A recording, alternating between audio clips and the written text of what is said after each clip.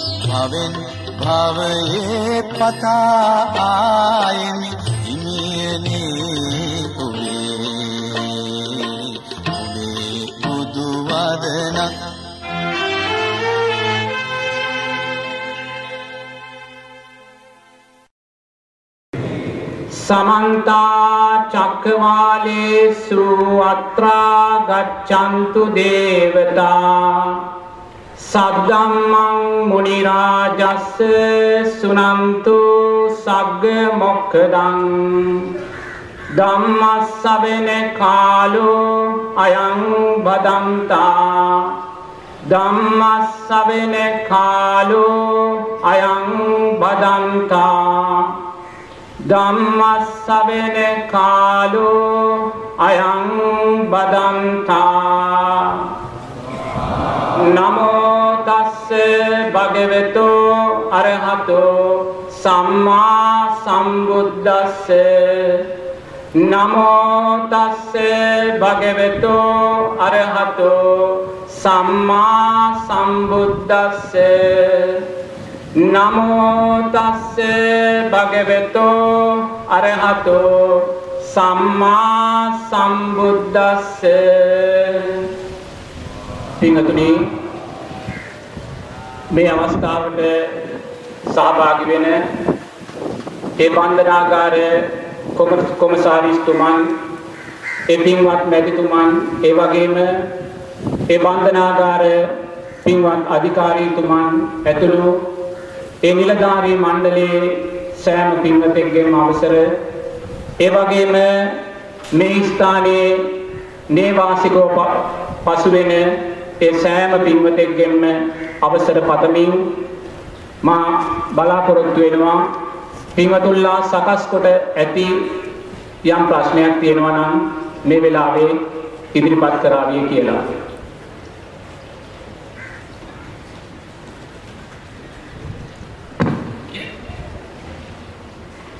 ගෞරවනීය ස්වාමීන් වහන්ස මේ ප්‍රශ්න ඔබ වහන්සේට ඉදිරිපත් කිරීමට කලින් මෙතන සිටින සියලුම දෙනා වෙනුවෙන් මට යමක් සිහිපත් කරන්නට සිත් වෙනවා.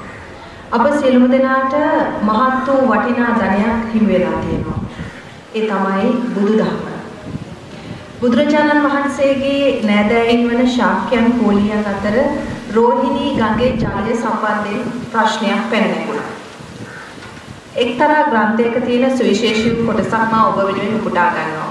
මෙය ඔබට හිතන්නට කියලා මා ආරාධනා කරනවා මේ ශ්‍රවණය කළයින් පසුව.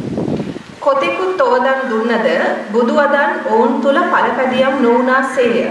කෙමෙන් ශාක්‍ය කෝලිය අරගලය උත්සන්න විය. කෙතරම් උත්සන්න වී දෙයක් රෝහිණී ගඟ දෙපස හිටගත් ඔව්හු අවියායුධ අතට ගත්හ. තව නොබෝ දිනකින්ම උණ උන් ඇන කොටා ගන්නා බව බුදුන් වහන්සේට සැලවිය. ඔවුන්ගේ මේ ඇන කොටා ගැනීම කෙසේ හෝ කෙලවරකට පැමිණිවිය යුතු බව බුදුන් වහන්සේ සිතාගත්සේක. ඇමතිවරුද ඒ කලහය සංසිඳ වීමට සමත් නොවූහ. ඒ ඒ ඇමතිවරු සිය රජවරුන්ට කලහයට හේතු හා ඔවුනොවුන් විසින් උපදෙස් රජ කුලයට නගන ලද දොස්ද පැවසූහ. කිඹුල්වත් පුර රජපුද කෝලීය පුර රජපුද තම තමන්ට නැගූ කුලමල දොස් අසා කිපුණහ. ඒ ගැන පරීක්ෂා නොකළහ. නෑ සබදකම්ද අමතක කළහ. අන්තිමට යුදයට පෙළඹුණහ. රෝහිණී නදය නිසුල්මන්ව ගලා ගියාය. එක් පසෙක ශාක්‍යයන්ද අනිත් පස කෝලියන්ද ගඟ දෙපස් තේවිය. අලුයම ලෝබැලූ බුදුරජාණන් වහන්සේ යුදයට පෙළඹුණු දෙපස නෑ රජුන් දැක ඔවුන් කෙරෙහි පතල මෙත මහා කරුණාව යොමු කළසේක. රෝහිණී ගඟ මැද අහස් කුස බුදුන් වහන්සේ දෙපසටම පෙනෙන පරිදි පෙනී සිටියසේක. බුදු රදුන් දුටු නෑසිය කල විස්මයට පත් වූහ. අවි බිම දමව්. බුද්ධ ස්වරය නින්නාද විය. නෑ රජවරු සිය පිරිස් සමග යුදාවි බිම දමා බුදු රදුනට වැඳ නමස්කාර කළහ. තොප මේ කුමක් කරන්නටද සැරසෙන්නේ? තොප මිනිස් රැලක්ද නැතහොත් ලේ පිපාසාවෙන් පෙළෙන යකුන් හා රකුසන් රැලක්ද දැඩි නිශ්ශබ්දතාවයකින් ගෙවි ගියේය. මේ කිනම් කලහයක්ද? ඉන් කාට නම් පළක් වේද? බලව මේ රෝහිණී නදිය දෙස ඇය ගලා වසින අයුරු තොප දෙපසටම උපේක්ෂා සහගතව බුදුන් වහන්සේ ඔවුන් සමගි කරවීමට බුද්ධස්වරය යොදාගත්සේක. වෛර ඇති මිනිසුන් අතරේ වෛරයෙන් තොර වී ඒකාන්තයෙන්ම සුවසේ ජීවත් වෙමු. ගිලන්ගත මිනිසුන් අතර ගිලන්ගත නොවි අපි ඒකාන්තයෙන්ම සුවසේ ජීවත් වෙමු. කම් සැපසෙව් අතරේ නියලුණු මිනිසුන් අතරේ කම් සැප නොසොයා ඒකාන්තයෙන්ම සුවසේ ජීවත් වෙමු. ශාක්‍යයන්ගේ හා කෝලියන්ගේ කලහය සංසිඳවා ඔවුන්ගේ සිත් සතන් නිරෝගී බවට පත්කොට බුදුරජාණන් වහන්සේ පෙරලා නීග්‍රෝධාරාමයට වැඩම කළසේක. අප සිත් නිරෝගී කරන්නට බුදු දහමින් සැනසුම සලසා දෙන්නට මෙහි වැඩමවා වදාළ ගෞරවනීය ස්වාමින් වහන්සේ ගෞරවනීය ආර්යයන් වහන්සේ මේ ප්‍රශ්න ඔබ වහන්සේට ඉදිරිපත් කිරීම සඳහා මට අවසර දෙනු මැන. ඔබ විසින් ලබා දී ඇති ප්‍රශ්න එකින් එක මා ස්වාමින් වහන්සේට ඉදිරිපත් කරනවා. ගරු ස්වාමින් වහන්සේ මෙලව උපත ලබන මිනිසෙකු ද්වි හේතුක පුද්ගලයෙක්ව උපත ලදහොත් ධර්මානුකූල ප්‍රතිපත්තියක පිහිටා කටයුතු කළ විට ඔහු මේ ආත්ම භාවයේම ත්‍රිහෝතික පුද්ගලයෙක් බවට පත්වේද? එසේ පත්වීමෙන් පසු මාර්ගඵල ලබාගත හැකි වේද? මෙහෙමයි ලෞතර බුදුරජාණන් වහන්සේ දේශනා කරනවා මේසා මිත්‍යා දෘෂ්ටික ලෝකයක් අභිබවලා දැන් මෙතනදි මේ මිත්‍යා දෘෂ්ටික ලෝකයක් කියලා කියන්නේ සම්මා දිට්ඨියෙන් දුර්වල වූ ලෝකය. මිත්‍යා දෘෂ්ටිය කියන්නේ මේ කෙනෙකුට අපහාස කරන වචනයක් නරක වචනයක් නෙමෙයි. මිත්‍යා දෘෂ්ටිය කියලා කියන්නේ සම්මා දිට්ඨියේ විරුද්ධාර්ථය. තේනවද සම්මා දිට්ඨියේ විරුද්ධාර්ථය. එතකොට සම්මා දිට්ඨිය කියන්නේ ආරෂ්ඨාංගික මාර්ගයේ මුල් මාර්ගාංගය. සම්මා දිට්ඨිය කියන අර්ථය තුල කාරණා හතක් ගැබ් වෙලා තියෙනවා. පළවෙනි කාරණය තමයි යම් කෙනෙක් තෙරුවන් කෙරෙහි සද්ධාව තුල ජීවත් වෙනවා නම් ඒක සම්මා දිට්ඨියේ ලක්ෂණය. ඒ කියන්නේ තෙරුවන් කෙරෙහි සද්ධාව පිළිබඳ යාට විශ්වාසයක් තියෙන්න ඕනේ. දෙවෙනි කාරණය තමයි කර්මය කර්මඵල පිළිබඳ විශ්වාසයක් එයාට තියෙන්න ඕනේ. තුන්වෙනි කාරණය තමයි පටිච්ච සමුප්පන්නව මැරිලා නැවත උපතක් තියෙනවායි කියන කාරණේ තේරුම් ගන්න ඕනේ. විශ්වාසය තියෙන්න ඕනේ. හතරවෙනි කාරණය තමයි දන් දුන්නොත් සිල් රැක්කොත් ආනිසංස තියෙනවායි කියන කාරණේ විශ්වාසය තියෙන්න ඕනේ.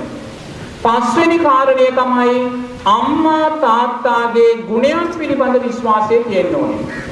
හයවෙනි කාරණය තමයි ඕපපාතික සත්වයෙන් උපදිනවායි කියන විශ්වාසය තියෙන්න ඕනේ. හත්වෙනි කාරණය තමයි අතීතයේ සෝවාන් සකුරුදාගාමි අනාගාමි අරිහත් උත්තමයන් වැඩ සිටියායි කියන විශ්වාසය තියෙන්න ඕනේ. දැන් මෙන්න මේ කාරණා හත තමයි සම්මා දිට්ඨියටපත් වූ බෞද්ධයෙක් කියලා කියන්නේ. දැන් මෙතන ඉන්න සෑම කෙනෙක්ම බෞද්ධ පින්වතුන්ලානේ. එතකොට මේ බෞද්ධ පින්වතුන්ලා මේ ජීවිතේ බෞද්ධ අම්මා කෙනෙක්ගේ මව් කුසෙන් මේ ලෝකෙට බිහිුනේ ඇයි? හේතුඵල ධර්මයක් ඒක. ඒ හේතුඵල ධර්මය තමයි මේ සෑම පින්වතෙක්ම පෙර ජීවිතේ, ඒ කියන්නේ ගිය ජීවිතේ එක්ක මිනිස්සේ එක්ක දෙවියෙක්. ඒක තේරුම් ගන්න. ඒක තමා තුලින් තමා දකින්න ඕන. මෙතන ඉන්න සෑම කෙනෙක්ම පෙර ජීවිතේ එක්ක දෙවියෙක් එක්ක මිනිස්සෙක්. ඉන් බැහැර සතර අපායේ ඉඳන් එනවායි කියන කාරණය 100ට දශම ගානකට තමයි ඉඩ තියෙන්නේ. එහෙනම් මේ සෑම කෙනෙක්ම පෙර ජීවිතේ දෙවියෙක් හැටියට මිනිස්සෙක් හැටියට ඉඳලා සම්මා දිට්ඨියේ අර්ථයන්ගෙන් පෝෂණය වෙලා ආරෂ්ඨාංගික මාර්ගය තුල හිටපු නිසායි මේ ජීවිතයේ ඔබට බෞද්ධ මෞකසක් ලැබුණේ. ඒක හොඳට තේරුම් ගන්න ඕන. ඒකට බලන්න මේ ජීවිතයේ ඔබ බෞද්ධයෙක් බවට පත් වෙලා බෞද්ධ මෞකසකින් ලෝකෙට බිහිුනේ ඇයි? ඔබලා සෑම කෙනෙකුටම මේ ජීවිතේ උතුම් සෝවාන් සකෘදාගාමි අනාගාමි අරිහත් ඵලයන්ටපත් වෙන්න පුණ්‍ය ශක්තිය තියෙනවා. ඒක හොඳට තේරුම් ගන්න ඕනේ. ඒ කියන්නේ නිරතුරුවම අපි තුල උපටලී භාවයක් සකස් වෙනවා නම් සැකයක් විචිකිච්ඡාවක් සකස් සකස් වෙනවා නම් අපිට නිවන් අවබෝධයේ උදෙසා අවශ්‍ය ශක්තිය අපේ ජීවිතය තුල නැහැ කියලා ඒක අධර්මයට අදාළ චිත්තයක්. ඒක අධර්මයට අදාළ චිත්තයක්.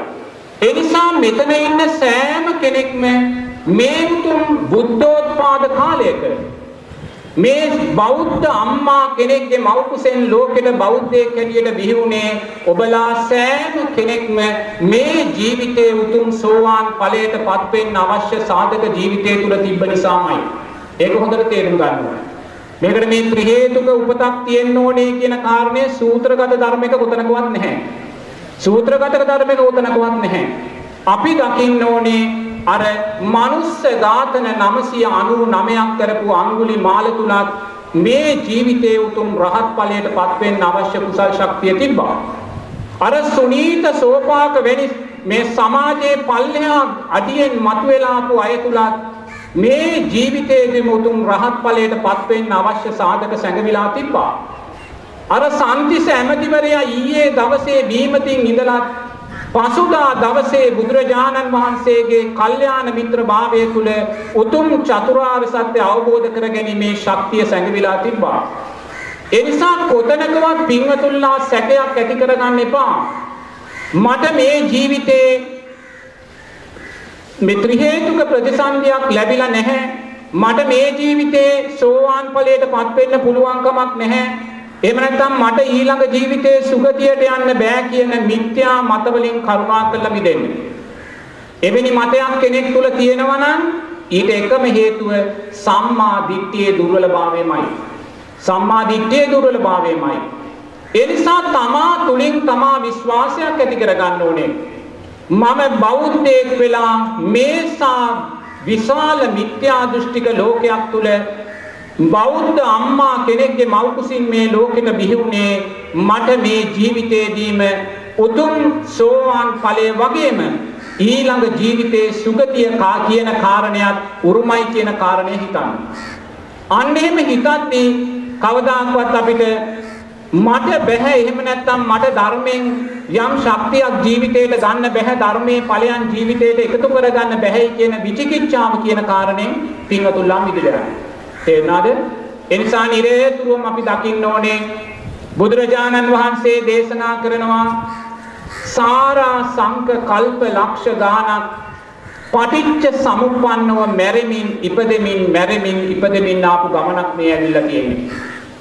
ඒ පටිච්ච සමුප්පන්නව මැරෙමින් ඉපදෙමින් ආපු ගමනේදී පින්වතුල්ලා මේ මොහොතේ මගෙන් බණහනවා වගේ අතීතේ පින්වතුල්ලා බුදුරජාණන් වහන්සේලා දසදහස් ගානකින් ධර්මයේ ශ්‍රවණය කළා තියෙනවා. ජීවමාන බුදුරජාණන් වහන්සේලා දසදහස් ගානකින් ඔබලා මේ මොහොතේ මගෙන් බණහනවා වගේ අතීතේ රහතන් වහන්සේලා ලක්ෂ ගානකින් බණහලා තියෙනවා. ඔබලා මේ මොහොතේ මගෙන් බණහනවා වගේ අතීතේ පටිච්ච සමුප්පන්නව ඉපදුන වෙලාවේ පසේ බුදුරජාණන් වහන්සේලා ලක්ෂ ගානක් ඒ පටිච්ච සමුප්පන්න ඇස් වලින් දැකලා තියෙනවා. මෙතන ඉන්න සෑම කෙනෙක්ම අතීතේ සම්මා සම්බුද්ධ ශාසනවල ඉපදිලා පැවිදි උපසම්පදාව ලැබපු වෙලාවේ පැවිදි උපසම්පදාව ලැබපු වෙලාවේ ඔබලා පෙරෝපු චීවර එක ගොඩක් ගැහුවොත් ගිජ්ජකූට පර්වතයට වඩා විශාලයි කියලා බුදුරජාණන් වහන්සේ දේශනා කරනවා. මේ මොහොතේ ඔබලා මේ බන්ධනාගාරය තුල ජීවත් වුණා අතීතේ සම්මා සම්බුද්ධ ශාසනවල ඉපදිලා ඔබලා භික්ෂු භික්ෂුණී ශාසනවල පැවිදි වෙලා පෙරෝපු චීවර එක ගොඩක් ගැහුවොත් ගිජ්ජකූට පර්වතයට වඩා විශාලයි කියනවා. ඔබලා මේ මොහොතේ ඔය දරාගෙන ඉන්න සුදු ඇඳුම වගේ මේ සාරා සංඝ කල්ප ලක්ෂයක් ගානක් ආපු ගමනේදී සම්මා සම්බුද්ධ ශාසන මුණ ගැසිලා සිල් සමාදන් වෙන්න ඇඳ සුදු සිල් රෙදි එක ගොඩක් ගැහුවොත් ගිජ්ජකූට පර්වතයට වඩා විශාලයි කියනවා. එහෙනම් බලන්න අපේ පිටිපස්සේ කොයිසා කුසල් සම්භාරයක් පිටිපස්සේ ජීවිතය තුල පටිච්ච සමුප්පන්නව සැඟවිලා තියෙනවා. බුදුරජාණන් වහන්සේ දේශනා කරනවා ඔබලා බුදුරජාණන් වහන්සේලාගෙන් බණ අහන්න ගිහිල්ලා බුදුරජාණන් වහන්සේ ගාථා පද තුනක් කියනවා. ඊළඟ ගාථා පදේ ඇහුවනම් ඔබේ දා සෝවාන් ඵලයටපත් වෙනවා. නමුත් ඔබ නැගිටලා යනවා මට දැන් වැඩ තියෙනවා මං යන්න ඕනේ කියලා නැගිටලා යනවා. බුදුරජාණන් වහන්සේ කියනවා අර එක ගාථා පදේ ඔබේ දා ඇහුවනම් ඔබ උතුම් සෝවාන් ඵලයටපත් වෙනවා කියලා. එහෙනම් බලන්න අපේ ජීවිතයේ පිටිපස්සේ කොයිසානම් ශක්තිමත් තැන් තියෙනවද අපි නතර කරපො. කොයිසා ශක්තිමත් තැන් තියෙනවද? ඒ නිසා පින්වතුන් දක්ෂ වෙන්න ඕනේ. මට ජීවිතේ කුසල් මදි මට ජීවිතේ පින මදි මෙවැනි විචිකිච්ඡා සහගත සැක සහගත අධර්මයේ සිතුවිලි හිතන්නේ නැතුව අර වගේ ශක්තිමත් තැනකින් ජීවිතේ මතු කරලා ගන්න. අර වගේ ශක්තිමත් තැනකින් ජීවිතේ මතු කරලා ගන්න. එතකොට එවැනි ශක්තිමත් තැනකින් ජීවිතේ මතුවෙන්නේ නැත්නම් ඒකටත් හේතුවක් තියෙනවා. ඒකටත් හේතුවක් තියෙනවා. සංස්කාර පත්‍ය විඥාන. සංස්කාරයන්ට අදාළවයි අපේ විඥානය සකස් වෙන්නේ. බුදුරජාණන් වහන්සේ දේශනා කරනවා අතීතේ පුහුණු කළා වූ සංස්කාරයන්ට එහෙම නැත්නම් මේ ජීවිතේ පුහුණු කළා වූ සංස්කාරයන්ට අදාළවයි අපේ දැනීම් සකස් වෙන්නේ. එහෙනම් යම් හේකින් අපිට මේ ජීවිතේ නරක මිතුරන් මුණ ගැසුණා නම් අසත්පුරුෂ ආශ්‍රයන් ලැබුණා නම් ඒ ආශ්‍රයන් ඔස්සේ සකස් වෙන්නා වූ සංස්කාර නිසා ඒ ආශ්‍රයන් විපාක දීමට අදාළ දැනීම් තමයි අපි තුල සකස් වෙන්නේ.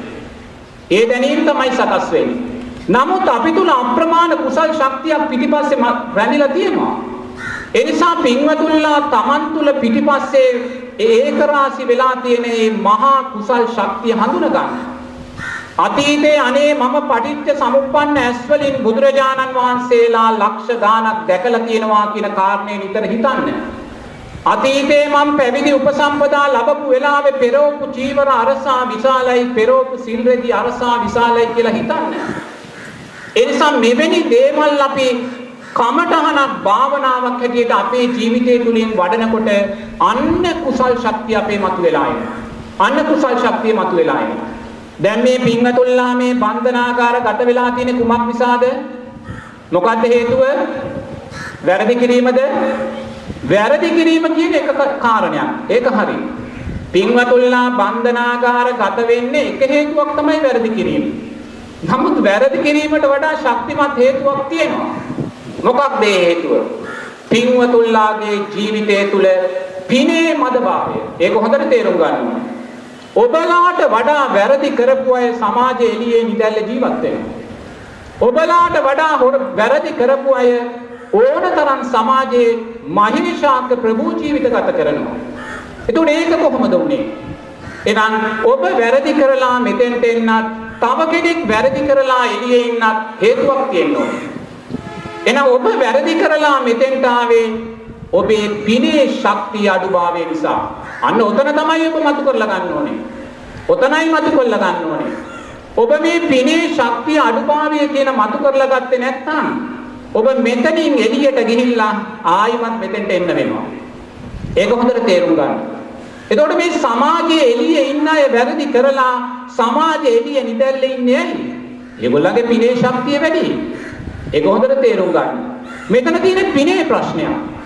ඒ නිසා ඔබලා දක්ෂ වෙන්න ඕනේ බන්ධනාගාරගතව හිටියත් මම මේ ජීවිතෙන් යම් දවසක මිදුනේ දවසක නැවත බන්ධනාගාරයට නොයනවා කියන තැන සකස් කර ගන්න නම් පිනෙන්මයි ඔබ ශක්තිමත් වෙන්න වෙන දෙයකින් නෙමෙයි. මොකද පිනේ මත භාවයයි ඔබලාව මෙතන කොටු කරලා තියෙන්නේ. ඒ නිසා නිරතුරුව ඔබ දක්ෂ වෙන්න මේ බන්ධනාගාරයේ හිරගෙදර පන්සලක් කරගන්න. මොකද ඔබ පින ශක්තිමත් කරගෙන මෙතනින් එළියට ගියොත් ඔබට නැවත මෙතෙන්ට එන්න තියෙන අවස්ථා අඩු වෙනවා. ඒක හොඳට තේරුම් ගන්න ඕනේ. ඒ නිසා ඔබ බන්ධනාගාරයේ පන්සලක් කරගන්න. බන්ධනාගාරය ආරණ්‍යයක් කරගන්න. එහෙම කරගන්නේ කොහොමද කියන කාරණේ මතු කරද්දී නිරේතුරුම පිංගතුල්ලා මුලින්ම අර සම්මා දිට්ඨියේ අර්ථයන්ට අදාළව හිතන්න දක්ෂ වෙන්න ඕන. සම්මා දිට්ඨියේ අර්ථයන්ට අදාළව හිතන්න දක්ෂ වෙන්න ඕන. නිරේතුරුව තෙරුවන් කෙරෙහි සද්ධාව තුල ජීවත් වෙන්න. තෙරුවන් කෙරෙහි සද්ධාව බුදුරජාණන් වහන්සේ අපිට මේ කටුක සංසාර භව ගමන පිළිබඳ මේ සත් ධර්මයේ තුලින් මේ සියල්ල මතු කරලා පෙන්වන්නේ. බුදුරජාණන් වහන්සේ දේශනා කරනවා අපි සාරා සංක කල්ප ලක්ෂ ගානක ඉඳලා මේ මාර්යාගේ බන්ධනාගාරය තුල බන්ධනාගාර ගත වෙච්ච පිරිසක්මයි ඔබ බන්ධනාගාර ගත වෙලා තියෙනවා වගේම මමත් බන්ධනාගාර ගත වෙච්ච හාමුදුරු කෙනෙක්. මම බන්ධනාගාර ගත වෙලා තියෙන්නේ මේ මැගසින් බන්ධනාගාරේ නෙමෙයි. මේ මායාගේ බන්ධනාගාරය තුල සාරා සංක කල්ප ලක්ෂ ගාණක් බන්ධනාගාර ගත වෙච්ච මිනිස්සු සත්වය අපි. ඒක හොඳට තේරුම් ගන්න ඕනේ. මේ ජීවිතයේදී ඔබ මේ බන්ධනාගාරයෙන් මිදලා ගියා කියලා ඔබ සිරගත වීමෙන් කවදාක්වත් මිදෙන්නේ නැහැ. ඒක තේරුම් ගන්න. ඔබ මේ මායාගේ බන්ධනාගාරයෙන් යම් දවසක මිදෙන්නේ අවම වශයෙන් උතුම් සෝවාන් ඵලයට පත් වුණ වෙලාවෙමයි. ඒක හොඳට හිතන්න ඕනේ. ඔබ උතුම් සෝවාන් ඵලයට පත් වෙච්ච දවසේ ඔබ මායාගේ බන්ධනාගාරය ආත්ම භාව හතකට සීමා කරගන්නවා. ආත්ම භාව හතක් එයා ඒත් බන්ධනාගාරගත වෙනවා. සුගතිය කියන බන්ධනාගාරය. ඒ නිසා නිරේතුරු ඔබ දක්ෂ වෙන්න ඕනේ මම කවදාද මේ සිරගෙදරින් මිදිලා යන්නේ කියන කාරණේ හිතන්න නෙමෙයි. මම මේ සිරගෙදරින් මිදිලා මේ ගේට්ටුවෙන් එළියට ගියත් මම මායාගේ බන්ධනාගාරය තුලටමයි යන්නේ. ඒ නිසා මම දක්ෂ වෙන්න ඕනේ මේ ජීවිතයේ උතුම් මාර්ගෂ්ටාංගික මාර්ගය පරිපූර්ණ කරලා මට පින් මදි මට කුසල් මදි කියන මේ විචිකිච්ඡා සහගත සිත් පරාදය කරලා මේ බන්ධනාගාරය පන්සලක් කරගෙන ආරණ්‍යයක් කරගෙන පින ශක්තිමත් කරගන්න. එහෙම නැත්නම් කුසල් ධර්මයන් ශක්තිමත් කරගන්න. මං හිතනවා ඔබ ඒ ව්‍යායාමයේ තුල යෙදුනොත් ඔබ බන්ධනාගාරගත උනේ ඔබේ පිනටමයි. ඒක ඔබ තේරුම් ගන්න ඔබ බන්ධනාගාරගත උනේ ඔබේ පිනටමයි. නමුත් ඔබ බන්ධනාගාරගත වෙලා තියෙන්නේ ඔබේ අකුසලයක් නිසා. කෙනෙක් සමාජයේ නිදැල්ලේ ජීවත් වෙද්දී තව කෙනෙක් සමාජයේ මේ විදියට හිර වෙලා කොටු වෙලා ජීවත් වෙන්නේ ඔබේ සංසාරයේ අකුසල විපාකයක්. ඒක තේරුම් ගන්න ඕනේ. එතකොට අපි දක්ෂ වෙන්න ඕනේ. ඒ අකුසලයේ තුලින් කුසලයේ මතු කරගන්න. නමුත් ඔබ බන්ධනාගාර ගත වෙලා ඔබ බන්ධනාගාරය තුල සිල්පද විඳ ගන්නවා නම් බන්ධනාගාරය තුලත් ලෝභ, ද්වේෂ, මෝහයන් ඇති කරගන්නවා නම් අපි මොකද්ද කරන්නේ? අකුසලය නිසා තව අකුසල් රැස් කරගන්නා වූ අවාසනාවන්තයෙක් බවට පත් වෙනවා. ඔන්න දැන් නිරේතුරුවම අකුසල් රැස් කිරීම නිසා අතීත අකුසල් වල ඵලයේ හැටියට නැවත නැවත අකුසල් රැස් කරගන්න අවාසනාවන්තයෙක් බවට පත් වෙනවා. එනිසා ඔබ දක්ෂ වෙන්න. නිරේතුරුවම අතීතයේ අකුසලයක් මට විපාක දෙන මේ මොහොතේ මං මේ අකුසලය කුසලයෙන් යටපත් කරගන්නවා කියන කාරණේ මතු කරගන්න. කුසලයෙන් යටපත් කරගන්නවා කියන කාරණේ මතු කරගන්න. මොකද ඔබ අවංකව දැන් දන්නවා Tamanට මේ අකුසලයක් විපාක දෙන්නේ කියලා. කෙනෙක් නිදහසේ සමාජ ජීවත් වෙද්දී ඔබ හිර වෙලා ජීවත් වෙන්නේ ඔබ සංසාරේ කාව හරි සිර කරගත්ත නිසාමයි. ඒ නිසා නිරේතුරුවම ඔබ මේ ලැබුවා වූ අකුසල් විපාකය ඔබ ශක්තිමත්ව ජීවිතය තුළින් ධර්මානුකූලව ගලපා ගත්තේ නැත්නම් ඊළඟ ජීවිතයේ අනිවාර්යයෙන්ම සතර අපායමයි වුනේ. ඒක කිසි සැකයක් නෑ. මම මේ ධර්මානුකූලව කියන්නේ මේ ජීවිතේ මනුස්ස ආත්මයක් ලබලා බන්ධනාගාරගත වුණා. එයා අකුසලයක් නිසා යුනේ. ඔබේ අකුසලය නිවැරදිව ජීවිතය තුළින් හඳුනගෙන කුසලය තුල ඔබ ශක්තිමත් නොවුනොත් ඊළඟ ජීවිතයේ පුතේ අනිවාර්යයෙන්ම සතර අපාය කියන බන්ධනාගාරයට වැටෙන්නේ. සතර අපාය කියන බන්ධනාගාරයට වැටුනොත් කල්ප ගානකට අපිට ගැලවීමක් නැහැ. ඔය අපේ මනුස්ස ලෝකයේ තුල ජීවත් වෙන පූසෙක්, කරකෙක්, බල්ලෙක්, එළුවෙක් ගන්නකො කවුද ඔය? ලස්සන මිනිස්සෙක්. පෙර ජීවිතයේ ලස්සන මනුස්ස ජීවිතයක් ලබලා සිල්පදයක් ආරක්ෂා කළේ නැහැ. අකුසල් මූලයන් ලෝභ ද්වේෂ මෝහයන් වැඩුවා. ද්වේෂය ඇති කරගත්ත කේන්තිය ඇති කරගත්ත පරිගැනීම ඇති කරගත්තා. ඇති කරගෙන මැරෙන වෙලාවේ ගැටෙන හිතෙන් මැරිලා අන්න බල්ලෙක් වෙලා ඉපදෙනවා. පූසෙක් වෙලා හරකෙක් වෙලා එළුවෙක් වෙලා ඌරෙක් වෙලා ඉපදෙනවා. ඉපදිලා කල්ප ගානක් සතර අපායෙන් සතර අපායට වැටිලා නිරයන්ට වැටිලා තමයි කවදා හරි මේ කෙනා එළියට එන්නේ. එනිසා මේසා භයානක බන්ධනාගාර ගතවීමක් මේ බමාත්‍රය තුල තියෙනවා. එනිසා ඔබ හිතන්න ඕනේ මේ අවුරුදු 10ක් 20ක් මේක ඇතුළේ වැටුණායි කියන කාරණය උපයෝගී කරගෙන ශක්තියක් කරගෙන ඔබ දක්ෂ වුණොත් මම මේ ජීවිතයේ උතුම් සෝවාන් ඵලයට පත්වීමට අදාළ ඒ උතුම් මාර්ගෂ්ටාංගික මාර්ගය තුල ජීවත් වෙනවා කියලා ඇත්තටම ඔබ අතීත අකුසල් විපාකයේ තුලින් කුසලය මතු කරගත්තා වූ දක්ෂයෙක් බවටයි පත් වෙන්නේ. ඒ උත්තරය අදපුතේ හොඳයි ස්වාමීන් වහන්සේ. ඊටමත් යහපත්. අපේ ගරු ස්වාමීන් වහන්සේ අපට නිරතුරුවම සිහිපත් කරන දෙයක් තමයි මේ සංසාර බිය දකින්න දක්ෂ වන්න. නිරතුරුවම පින්දහම් රැස් කරන්න අපට තිබෙන එකම ආරක්ෂාව අප රැස් කරන්නා වූ පින් සහ කුසල් කියන කාරණේ උන්වහන්සේ අපට කරුණාවෙන් දේශනා කරනවා. ගෞරවනීය ස්වාමීන් වහන්සේ නිසා මේ රටේ බොහෝ දෙනෙක් මේ රටේ විතරක් නෙමේ විදේශයන්හි පවා බොහෝ දෙනෙක් Tamanගේ ජීවිතය මේ සසර බිය දැකලා ජීවිතය සකස් කරගත්තා. ඔබ වහන්සේට මම පින් අනුමෝදන් කරනවා නැවත වතාවක්. මෙතන ධර්ම ශ්‍රවණය කරන බොහෝ දෙනා ඔබ වහන්සේට පින් අනුමෝදන් කරනවා. මේ සංසාර බිය අපට පෙන්වා වදාරමින් මේ ධර්මයේ ඇති අපේ ජීවිතයට ඇති සැනසීම අප වෙත ලං කර දෙන්නට ඔබ වහන්සේ අපට ධර්මයේ දේශනා කරනවා. ගෞරවනීය ස්වාමීන් වහන්සේ තවත් ගැටලුවක් තියෙනවා ඔබ වහන්සේ ඉදිරිපත් කිරීම සඳහා වර්තමාන කාලයේ මාර්ගඵලලාභීන් සිටිය නොහැකි බවට සමාජයේ මතයක් පවතිනවා. නමුත් මේ සමාජය තුලත් මාර්ගඵලලාභීන් සිටිය හැකි බව මා බැහැර කරන්නේ නැහැ. මේ උතුමන් පැවිදි පාර්ශවයෙන් සහ ගිහි පාර්ශවයෙන් අදටත් ජීවමානව සිටින බවට දැනගත හැක්කේ ධර්ම ඥානයක් ඇති උතුමන්ලාට පමණක්ද කියලා ස්වාමීන් වහන්සේ මේ ප්‍රශ්නේ විමසනවා. මෙහෙමයි ලෞතර බුදුරජාණන් වහන්සේ දේශනා කරනවා ධර්මයේ සම්දිට්ඨිකව තියෙන තාක්කල් ධර්මයේ සම්දිට්ඨිකව තියෙන තාක්කල් මාර්ගඵලලාභී උතුමන්ගෙන් මේ ලෝකයේ හිස් වෙන්නේ නැහැ කියලා.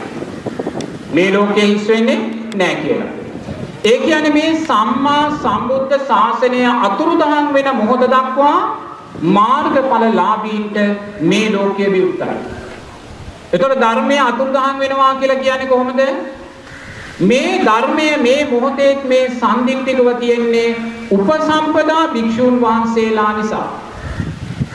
උපසම්පදා භික්ෂූන් වහන්සේ නමකට විනය කාරණා 227ක් තියෙනවා. ඒ කියන්නේ ප්‍රාතිමෝක්ෂ සීලය. දැන් පින්වතුන්ලා ආරක්ෂා කරන්නේ පංචශීලයනේ සිල්පද පහයි. නමුත් උපසම්පදා භික්ෂූන් වහන්සේ නමකට ප්‍රාතිමෝක්ෂ සීලේ සිල්පද 227ක් තියෙනවා.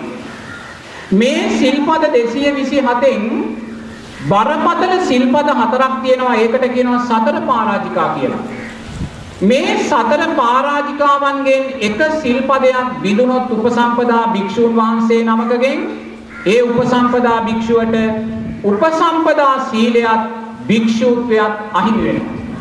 ඒක හරියට දෙකට පැලිච්ච කඩු ගලක් වගේ කියනවා ආයිමත් හා වෙන්නේ නැහැ. කරටිය කැඩිච්ච පොල් ගහක් වගේ කියනවා නැවත හාවීමක් නැහැ. ඒ කියන්නේ මේ සතර පරාජිකා හතරෙන් එකක් දුර්වල කරගත්ත තැනදී ඒ ස්වාමින් වහන්සේට උපසම්පදාවත් භික්ෂුත්වයක් දෙකම අහිමි වෙනවා. නමුත් පින්වතුනි මේ මොහොතේ මේ ලෝකයේ මේ උතුම් සතර පරාජිකා ආරක්ෂා කරගෙන ජීවත් වෙන උපසම්පදා භික්ෂූන් වහන්සේලා දසදහස් ගාණක් ජීවත් වෙනවා. ශ්‍රී ලංකාවේ බුරුමේ තායිලන්තේ වගේ රටවල් වල මේ උතුම් උපසම්පදා සීලය සතර පරාජිකා ආරක්ෂා කරගෙන ජීවත් වෙන දසදහස් ගණනක් උපසම්පදා භික්ෂුන් වහන්සේලා ජීවත් වෙනවා. ඒ නිසා මේ සිල් ආරක්ෂා කරගෙන ජීවත් වෙන උපසම්පදා භික්ෂුන් වහන්සේලා චතුරාර්ය සත්‍ය ලෝකෙට දේශනා කරනවා. ආරෂ්ඨාංගික මාර්ගයේ ලෝකෙට දේශනා කරනවා.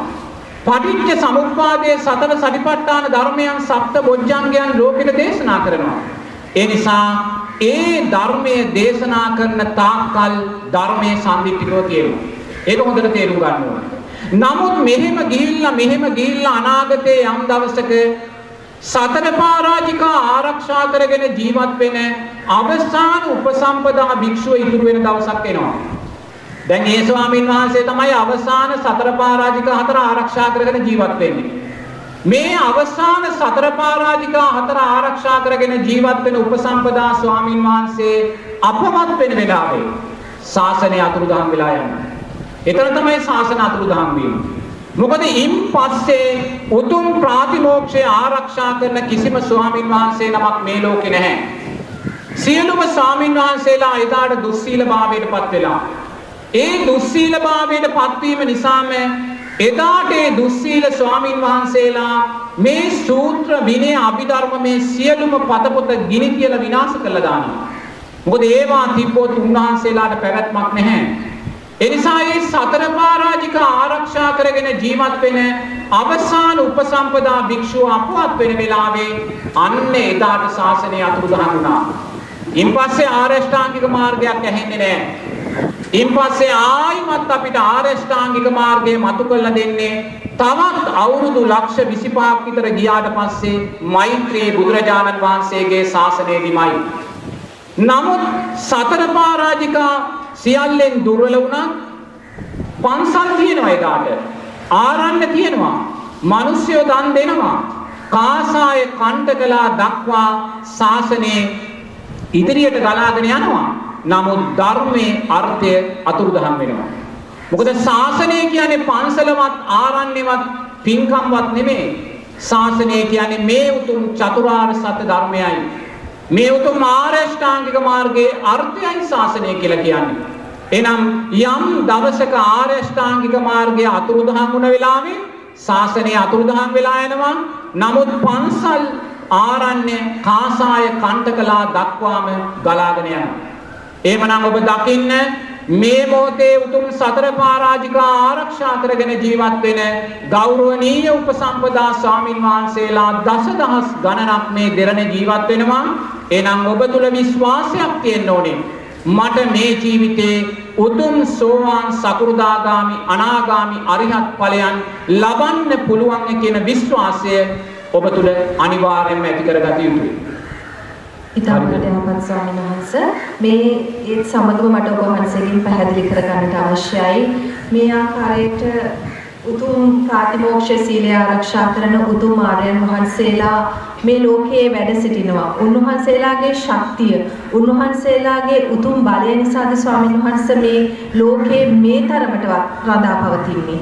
නෑ මෙහෙමයි. කෙනෙක්ගේ බලය තුලින් ලෝකයක් නිවැරදි වෙනවා කියන කාරණයක් ධර්මයට අදාළ නැහැ නෝනා. ඒක හොඳට තේරුම් ගන්න ඕනේ. තේරුණාද? මොකද ලෞතුරා බුදුරජාණන් වහන්සේටත් පුළුවන් කමක් තිබ්බේ නැහැ ලෝකය නිවැරදි කරන්න. ලෞතුරා බුදුරජාණන් වහන්සේට අවම වශයෙන් තමන්ගේ මස්සිනා බවට පත්වෙච්ච දේවදත්තවත් නිවැරදි කරගන්න පුළුවන් කමක් ලැබුණේ නැහැ. තමන්ගේ මාමා බවට පත් වෙලා හිටිය අර සුප්‍රබුද්ධ රජතුමාවත් නිවැරදි භාවයට පත් කරගන්න පුළුවන් කමක් ලැබුණේ ඒ ඒගොල්ලන්ගේ අකුසල් සංස්කාර නිසා ඒගොල්ලන්ගේ දුකට වැටුණා. ඒ නිසා නිරේතුරුවම තම් පින්වතුන්ලා දකින්න ඕනේ මේ මොහොතේ මේ ලෝකයේ යම් සාමකාමී බවක් තියෙනවා නම් ඒ සාමකාමී ලෝකය ගොඩ නැගිලා තියෙන්නේ මේ උතුම් බුදුදහමේ අර්ථයන් නිසායි කියන කාරණය. මේ බෞද්ධ ජනතාව ලෝකයේ තුල තියෙන බෞද්ධ ජනතාව සද්ධාවෙන් දුර්වල වෙලා සීලයෙන් දුර්වල වෙලා මේ සද්ධර්මයේ අර්ථයන් බිඳ වැටෙන තැන මුළු ලෝකයේම සාමය බිඳ වැටිලා මේ ලෝකේ මේ මොහොතේ මේ මොහොත දක්වා ලෝකයේ තුන්වෙනි ලෝක යුද්ධයක් පැමිණීම වැළැක්විලා තියෙන්නේ මේ උතුම් සම්මා සම්බුද්ධ ශාසනයේ අර්ථයන් නිසාමයි. මොකද මේ සම්මා සම්බුද්ධ ශාසනයේ ලෝතුරා බුදුරජාණන් වහන්සේ දේශනා කරපු ධර්ම රත්නය ඔස්සේ මේ බෞද්ධ ජනතාව සද්ධාවෙන් සීලෙන් දානෙන් මෛත්‍රියෙන් සමාධියෙන් බෞද්ධ ජනතාව ශක්තිමත් වෙනකොට අනිත් ආගම්වල පින්වතුන්ලාට සිද්ධ වෙනවා බුදුදහමේ ශක්තියට ඔරොත්තු දෙන්න. බුදුදහමෙන් එන අභියෝගයන්ට ඔරොත්තු දෙන්න ඒ ආගම්වලත් ගුණාත්මක භාවය වැඩි කරගන්න. මොකද ඒ ආගම්වල ගුණාත්මක භාවය වැඩි කරගත්තේ නැත්නම් මේ බුදුදහමෙන් එන්නා වූ ශක්තියට ඔරොත්තු දෙන්න මුහුණ දෙන්න පුළුවන් කමක් නැහැ. ඒ නිසා මේ බුදුදහම තුල අපිට මතු කරලා පෙන්වන මේ දානය, සීලය, මෛත්‍රිය, සමාධිය තුල ඒ සෑම ආගමකම පින්වතුල්ලා ක්‍රිස්තියානි වේවා, මුස්ලිම් ආගමේ වේවා, Hindu ආගමේ වේවා එම පින්වතුල්ලාගේ ආගමික වත්පිළිවෙත් මේ බුදුදහමට අදාළව ශක්තිමත් භාවයට පත් කරගෙන තියෙනවා. එහෙම ශක්තිමත් නොකරගත්තොත් මේ බුදුදහමෙන් එන්නා වූ අභියෝගයට එම පින්වතුන්ලාට මුහුණ දෙන්න බෑ. ඒ නිසා බුදුරජාණන් වහන්සේගේ ධර්මයට අදාළව සීලෙන්, ත්‍යාගයෙන්, එහෙම නැත්නම් සද්ධාවෙන්, සමාධියෙන්, මෛත්‍රියෙන් බෞද්ධ ජනතාව ශක්තිමත් වෙන්න වෙන්න ඒ ආගමික නායකයින් තමන්ගේ ජනතාවත් මෛත්‍රිය තුල, සමාධිය තුල, සීලය තුල ශක්තිමත් කරනවා. මේ ශක්තිමත් භාවය තුලයි මේ මොහොතේ මේ ලෝකේ සාමකාමී බව මේ තරමින්වත් රැකිලා තියෙන්නේ. යම් මොහොතක බෞද්ධ ජනතාව සද්ධාවෙන් සීලෙන් දානෙන් මෛත්‍රියෙන් වැඩුණ ගමන් මොකද වෙන්නේ? අනිත් ආගම් වලට තරග කරන්න තරගකරුවෙක් නැති වෙනවා. ඒ නැති වෙච්ච තැන ඒ ආගම් වලත් ගුණාත්මක භාවය පල්ලෙහාට වැටෙනවා. මොකද ඒගොල්ලන්ට තරගකරුවෙක් නෑ තරග කරගෙන ඉස්සරහට වෙන්නේ. නමුත් මේ මොහොතේ බුදුදහමේ අර්ථයන්ට අදාළව ඒ අය තමන්ගේ ධර්මයන් ගුණාත්මක භාවයට පත් කරලා ශක්තිමත් කරගන්නවා. එම ශක්තිමත් නොකරගත්තොත් ඒ ආගම් වලට විවේචන මතුවෙනවා ලෝකයේ ඉදිරියේ. ඒ නිසා පින්වතුන් දක්ෂ වෙන්න මේ බුදුදහම මතු කරලා පෙන්නන මෛත්‍රිය, සමාධිය, දානය, සීලය මේවායේ ශක්තිය තුලිනුයි මේ මොහොතේ මේ ලෝකේ මේ තරමින් හෝ සාමකාමී වාතාවරණයක් සකස් වෙලා තියෙන්නේ. යම් මේකෙන් මේ බෞද්ධ ජනතාව සද්ධාවෙන් සීලෙන් සමාධියෙන් මෛත්‍රියෙන් වැඩුණොත් එදාට මුළු ලෝකෙම සදාචාරාත්මක බිඳ වැටීමක් සිද්ධ වෙනවා. ඒක ලෝක ධර්මයක්මයි. ඒක ලෝක ධර්මයක්මයි.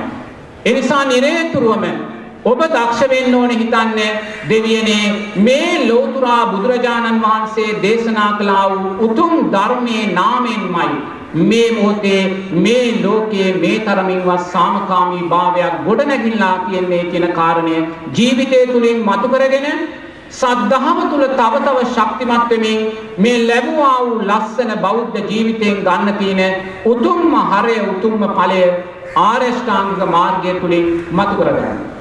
එහෙම නැතුව සාමින් වහන්සේලා ධර්මයේ තුල ජීවත් වුණායි කියන කාරණේ ලෝකයේ සාමය ලැබෙනවායි කියලා කියන්න බෑ.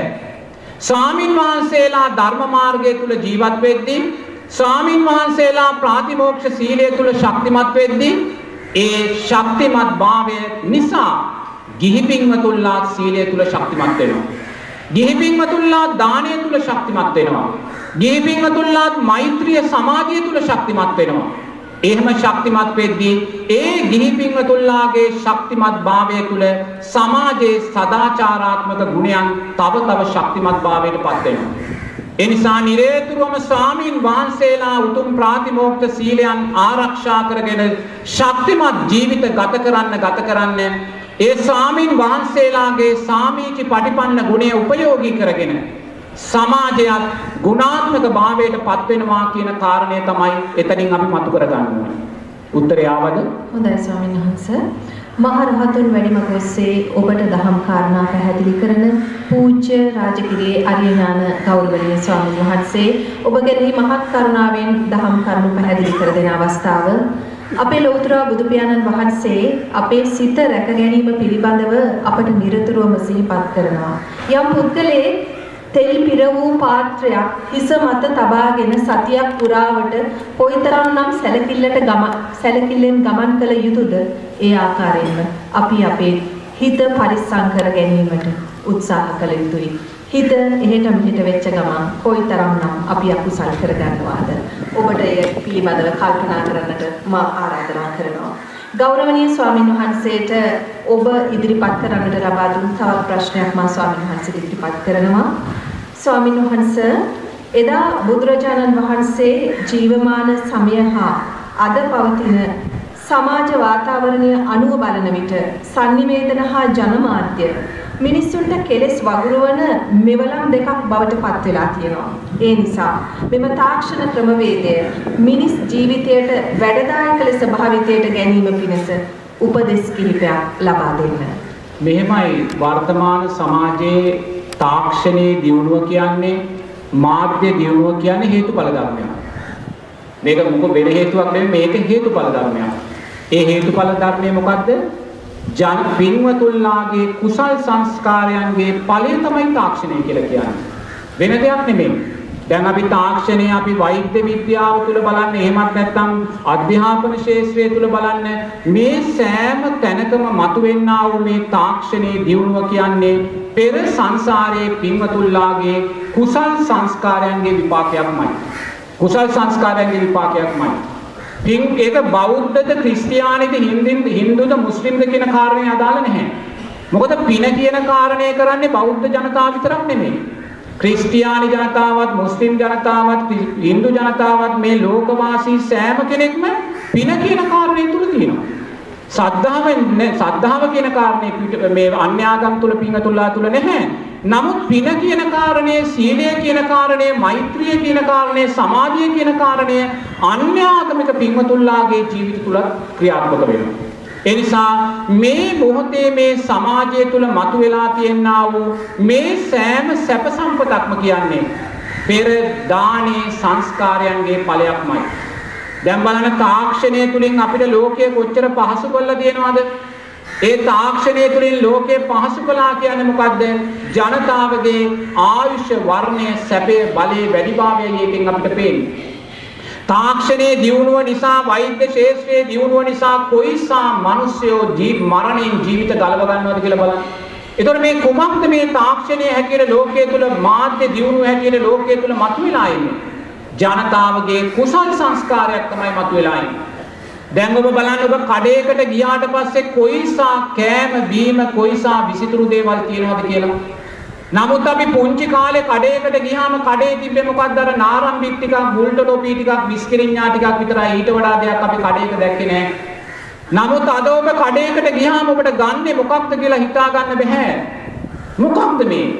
මේ කුසල් සංස්කාරයන්ගේ ඵලයක් මේ ජනතාව විඳින්නේ. පෙර ජීවිතේ මිනිස්සු හැටියට ජීවත් වෙලා ඒ මනුස්ස ජීවිතය තුළ අපි දුන්නා වූ දානයන්ගේ ආනිසංසයන්ගේ ඵලයයි මේ ආයුෂ වර්ණය සැපය බලය හැටියට අපි මේ භුක්ති විඳින්නේ. ඒ නිසා මිනිස්සයා පින් කරන්න පින් කරන්න පින් කරන්න තව තව මේ තාක්ෂණයේ දියුණුභාවයට පත් වෙනවා. මිනිස්සයා පින් කරන්න පින් කරන්න පින් කරන්න තව තව මේ මාධ්‍යයන් ලෝකයේ එකම ගම්මානයක් බවට පත් වෙනවා. දුරස්ථභාවය අයින් වෙලා කිට්ටුභාවයට පත් වෙනවා. ලෝකයේ මිනිස්සයා පින් කරන්න පින් කරන්න අනාගතයේ මීට වඩා මේ කඩ සාප්පුවල විසිතුරු රසවත් බඩු භාණ්ඩ ආහාර වලින් පිරීලා ඉතිරිලා යනවා. මොකක්ද මේ පිරේ ඵලයක්? බුදුරජාන් වහන්සේ දේශනා කරනවා දන් දෙන කෙනාට ආයුෂය වර්ණය සැපේ බලය කියන කාරණා හතර ලැබෙනවා කියලා. එහෙනම් ඔබ මේ වර්ණය සැපේ බලය හැටියට මේ ලෝකයේ තුලින් මේ මොහොතේ ලබන්නේ කුමක්ද? පෙර දානේ සංස්කාරයන්ගේ ඵලයක්මයි. නමුත් බුදුරජාණන් වහන්සේ දේශනා කරනවා සංස්කාර කියන්නේ මායя කියලා. ඔන්න ඔතනයි අපි හඳුනා ගන්න ඕනේ. මේ මාධ්‍යයන්ගේ දියුණුව සංස්කාරයක් හැටියට අපි ඉදිරියට එනකොට මේ රසවත් ආහාර විසිතුරු ඇඳුම් පැළඳුම් මේ සියලු දෙයක්ම පෙර ජීවිතයේ පිනේ ඵලය හැටියට අපි ඉදිරියට එනකොට මේ කියන්නා වූ මාධ්‍ය දියුණුව තාක්ෂණික උපකරණ අලුතෙන් අලුතෙන් නිෂ්පාදනය වෙලා ලෝකෙට එනකොට අපි දකින්න ඕනේ මේ සංස්කාර කියන්නේ මායя කියලා. මේ රූපය කියන්නේ මායя කියලා. නමුත් අපි මොනම අවස්ථාවකවත් මේ සංස්කාර එහෙම නැත්නම් රූපය මායя හැටියට දකින්නේ නැහැ. මේ මාධ්‍ය කියන්නේ මායයයි කියන කාරණේ අපි දකින්නේ නැහැ. මේ තාක්ෂණයේ දියුණුව කියන්නේ මායයයි කියන කාරණේ අපි දකින්නේ නැහැ. මේ කඩවල් වල බඩු භාණ්ඩ පිරීලා රසවත් භාණ්ඩ පිරීලා කියන දේවල් මායයි කියන කාරණය රූපය මායයි කියන ධර්මතාවය තුල අපි දකින්නේ නැහැ. එහෙම නැත්නම් මේවා ලැබෙන අපේ කුසල් සංස්කාර මායයා කියන කාරණය අපි දකින්නේ නැහැ. ඒ නිසාම පින්නතුනේ පෙර පින නිසා අපිට ලැබුණා වූ මේ සෑම දෙයක්ම අපි නැවත අකුසල් උදෙසාමයි ප්‍රයෝගී කරගන්නේ. අකුසල් උදෙසාමයි ප්‍රයෝගී කරගන්නේ. පෙර අපේ පින නිසා මේ ලෝකයේ මෙච්චර කිට්ටු කරලා තියෙන මාධ්‍ය අපි නැවත නැවත ලෝභ, ද්වේෂ, මෝහයන් නැති කර ගැනීම උදෙසාමයි උපයෝගී කරගන්නේ. පෙර පින නිසා අපිට තාක්ෂණය නිසා වෛද්‍ය විද්‍යාව කොච්චර දියුණු වෙලා තියෙනවද? දැන් කෙනෙක් මරණාසන්න වෙනවා. ඒ මරණාසන්න වෙන කෙනා මුළු ජීවිතේම මොකද කළේ? සිල්පද බිඳගත්තා. සිල්පද බිඳගෙන මරණාසන්න වෙච්ච වෙලාවේ දැන් එයා රෝහලට ගියාට පස්සේ අර නවීන තාක්ෂණික උපකරණ නිසා එයාගේ ජීවිතේ බේරෙනවා. එයාගේ ජීවිතේ බේරෙනවා. නමුත් එයා ජීවිතේ බේරගත්තේ කුමක් නිසාද? අර නවීන තාක්ෂණික උපකරණ නිසා. ඒ නවීන තාක්ෂණික උපකරණ ලෝකෙට ලැබුණේ කුමක් නිසාද? මිනිස්යාගේ කුසල් සංස්කාර නිසා. එනම් බලන්න මේ කුසල් සංස්කාරවල ඵලය හැටියට තාක්ෂණය තුළින් තමන්ගේ ජීවිතයේ මරණයෙන් බේරාගත්තත් ඒ බේරාගත් ජීවිතය වූ නැවතත් යොදන්නේ ලෝභ, ද්වේෂ, මෝහ අකුසල් උදෙසාමයි. නැවතත් එයා ජීවිතය යොමු කරන්නේ සිල්පද බිඳ ගැනීම උදෙසාමයි. ඒ නිසා පින්වතුල්ලා දක්ෂ වෙන්න. මාධ්‍ය දියුණුවක් තියෙනවා නම් ඒ මාධ්‍ය දියුණුව තුලින් ඔබ ගන්න ඕනේ ධර්මානුකූල ප්‍රතිඵලයන් පමණක්මයි. මාධ්‍ය දියුණුව තුලින් ඔබ ලබන්න ඕනේ අලෝභ, අදේශ, අමෝහ ධර්මයන්මයි. ඔබේ මාධ්‍ය දියුණුවෙන් ඔබ ලෝභ, ද්වේෂ, මෝහයන් ජීවිතයට එකතු කරගත්තොත් නිරේතුරුවම ඔබ දකින්න ඕනේ අතීත සංස්කාරයන්ගේ කුසල් සංස්කාරයන්ගේ ඵලයන් නිසා මේ ලැබුණා වූ සෑම දෙයක්ම අපි නැවත අකුසලයේ උදෙසා යොමු කර ගන්නවා කියන කාරණය. දැන් රසවත් ආහාර පාන අපිට ලැබෙනවා. මේ රසවත් ආහාර පාන අපිට දැන් ලැබෙන්නේ ඇයි? පෙර කුසල් සංස්කාරයන් නිසා. දානේ ආනිසංශයක් මේ අපි ලබන්නේ. නමුත් ඒ දානේ ආනිසංශ ලබනකොට අපි මේ සංස්කාර කියන්නේ මායයයි කියන කාරණේ නොදන්නා නිසාම ඒ ආහාර කිසිම පාලනයකින් තොරව අනුභව කරලා මාරාන්තික ලෙඩ රෝග අපි ඇති කරගන්න. අන්න බලන්න සංස්කාර මායя කියන කාරණය හඳුනාගත්තේ නැහැ. ඒ නිසා බුදුරජාණන් වහන්සේ දේශනා කරනවා පෙර පින නිසා අපිට ලැබෙන්නා වූ මේ සෑම අපි කැමති දේවල් මාර ධර්මයන් හැටියට දකින්න කියලා. බුදුරජාණන් වහන්සේ දේශනා කරනවා ඔබ ආහාරයක් දැස බලද්දී පුත්‍ර මාංශය අනුභව කරන ආකාරයෙන් ඒ ආහාරය අනුභව කරන්නේ ආහාරය දෙස බලන්න කියලා. පුත්‍ර මාංශය අනුභව කරනවා කියන්නේ මොකක්ද? තම් එක අම්මා කෙනෙක් තාත්තා කෙනෙක් තමන්ගේ එකම සුරතල් දරුවාවත් අරගෙන කාන්තාරේ ගමනක් යනවා. ආහාර අරගෙනයි යන්නේ. නමුත් කාන්තාරේ මැද්දට යද්දී තමන්ගේ ආහාර ටික ඉවර වෙනවා. තමන්ගේ ආහාර ඉවරුන නිසා දැන් තුන් දෙනාම කුසගින්නේ මැරෙන්නයි යන්නේ. දරුවා හොඳටම දැන් කලන්තේ දාලා තියෙන දරුවා මැරෙනවා කියන කාරණය අම්මයි තාත්තයි දන්නවා. ඒ නිසා මේ අම්මා තාත්තා තීරණය කරනවා අපි තුන්දෙනාම මැරෙන එකේ තේරුමක් නැහැ. දැන් මේ දරුවා මරණාසන්න මොහොතේ ඉන්නේ. ඒ නිසා අපි දෙදෙනා මේ කැලෙන් එතර වීම උදෙසා මේ දරුවා මරාගෙන කමු කියලා. මේ අම්මයි තාත්තයි තමන්ගේ අර මරණාසන්න වෙයිගේ දරුවා මරාගෙන කනවා.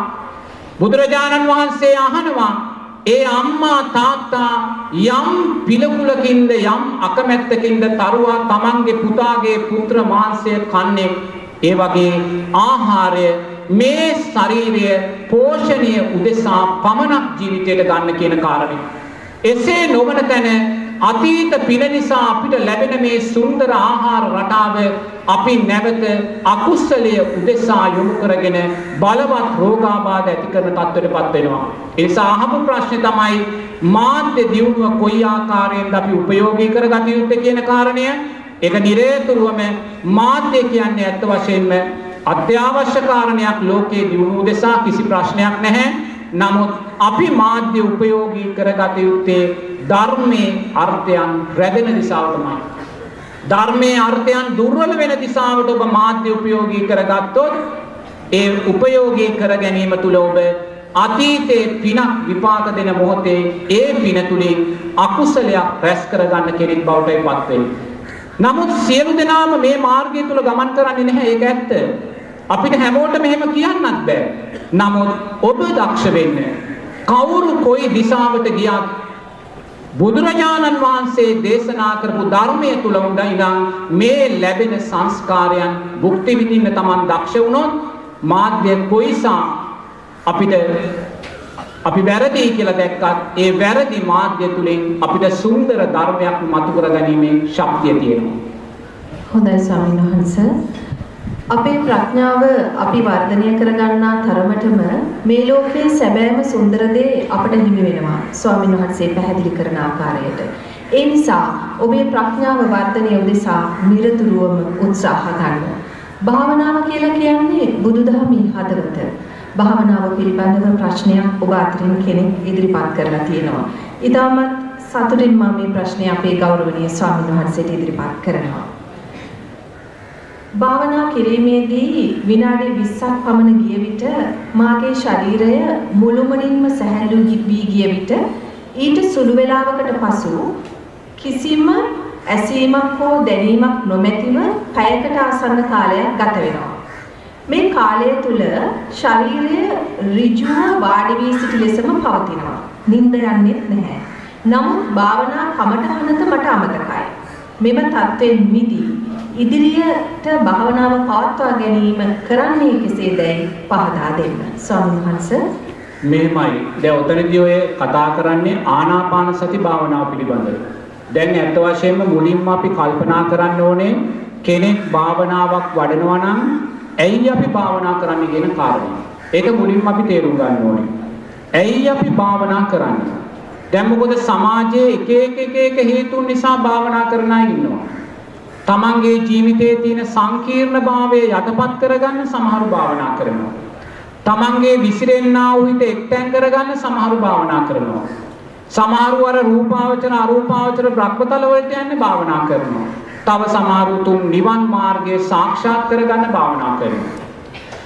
නමුත් ලෝතුරා බුදුරජාණන් වහන්සේ සතර සතිපට්ඨාන සූත්‍රය තුලින් භාවනාව කියන කාරණය යොමු කරන්නේ මේ උතුම් සෝවාන් සකෘදාගාමි අනාගාමි අරිහත් ඵලයන් කරා යන දිශාව තමයි.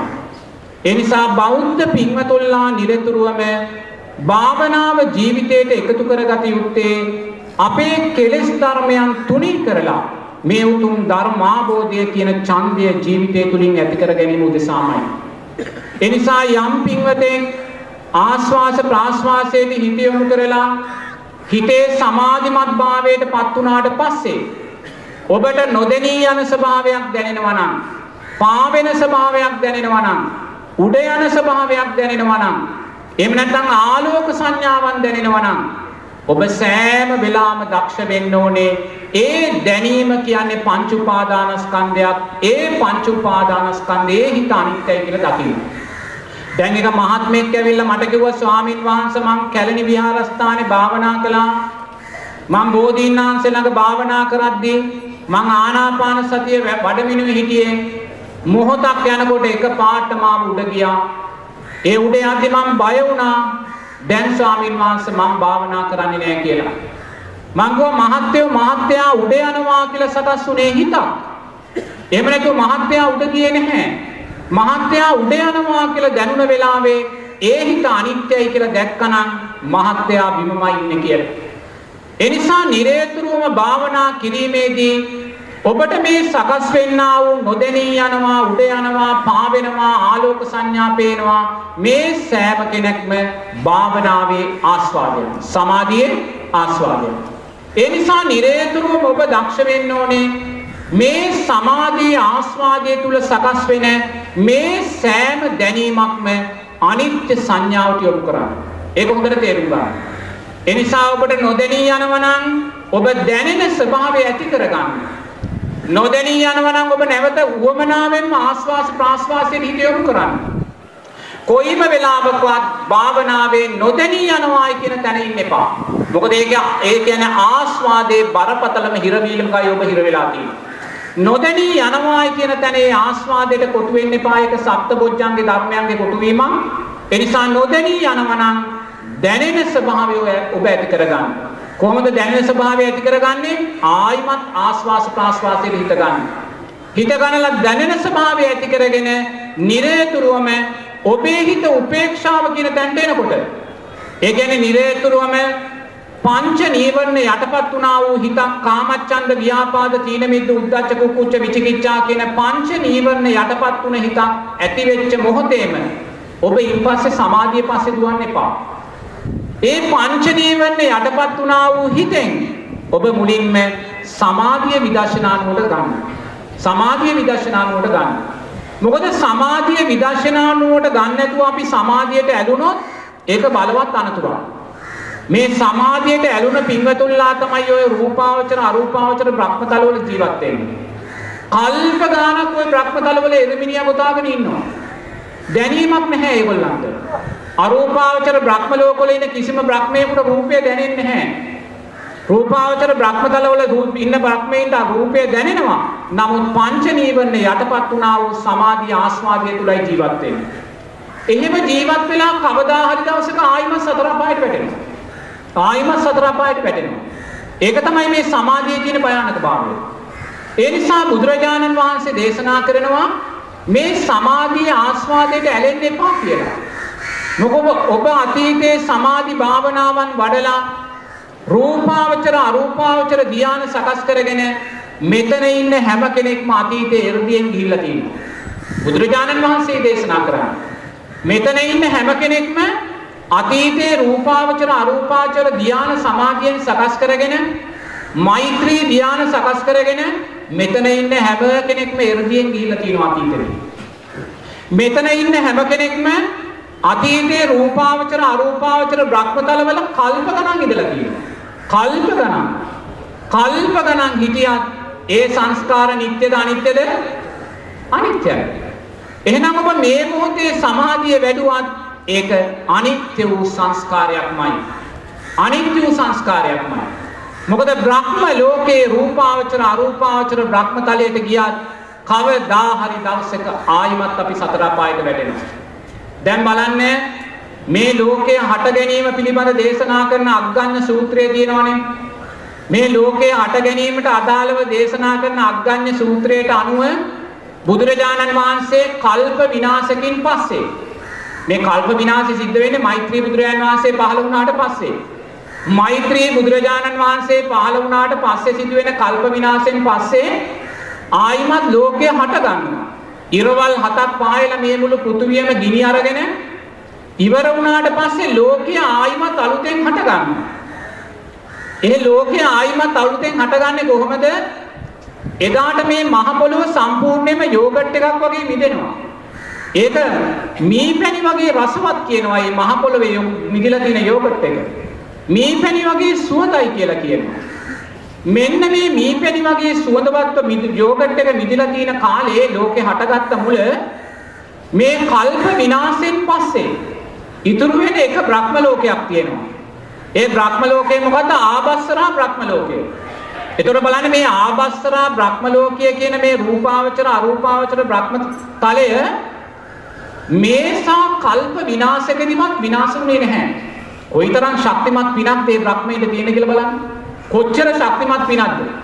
කල්ප විනාශෙදී අනිත් දිව්‍ය තලත් විනාශ වෙලා යද්දි මේ මුළු මනුස්ස තල සියල්ලම විනාශ වෙලා යද්දි මුළු විශ්වයම අඩුගොඩක් වෙද්දී ආබස්සරා බ්‍රහ්ම ලෝකේ බ්‍රහ්මයෝ ඉතුරු වෙනවා. කොයිසා ශක්තිමත් පිනක්ද? එතකොට මේ ආබස්සරා බ්‍රහ්ම ලෝකේ ඉන්න බ්‍රහ්මයෝ ආලෝක සංඥාවෙන් මනුස්ස ලෝකෙට එනවා. ආලෝක සංඥාවෙන් මනුස්ස ලෝකෙට ඇවිල්ලා අර යෝගට් එකේ සුවඳ ඒගොල්ලන්ට දැනෙනවා. යෝගට් එකේ සුවඳ දැනෙනවා. යෝගට් එකේ සුවඳ දැනුණාම අන්න තෘෂ්ණාව ඇති වෙනවා. තෘෂ්ණාව ඇති වෙලා මොකද කරන්නේ? මේගොල්ලෝ මේ යෝගට් එක දිව ගාලා කන්න බලනවා. ඊට පස්සේ මේ දිව ගාලා කාලා ඊට පස්සේ මේක කඩාගෙන කනවා. ඊට පස්සේ මේක බදාගෙන කනවා. මේ ලක්ෂ ගානක් ආවස්සරා බ්‍රහ්ම ලෝකෙන් ආලෝක සංඥාවෙන් ආපු බ්‍රහ්මයෝ මේ යෝගට් එකේ රසයට වහවැටිලා තෘෂ්ණාවෙන් උද්දල් වෙලා ඒ අරූපී කය රූපී කයක් බවට ඒගොල්ලන්ට පත් වෙනවා.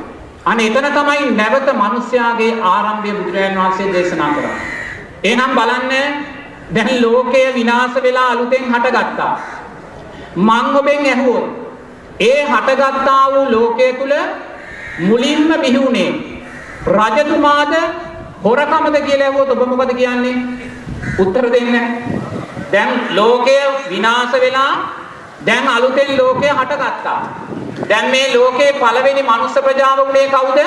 ආබස්තරා බ්‍රහ්ම ලෝකෙන් ආපු බ්‍රහ්මයෝ. තේරුණාද? ඒ බ්‍රහ්මයෝ කල්ප විනාශකදීවත් විනාශ වුණේ නැහැ. ඒ තරම් පින ශක්තිමත්.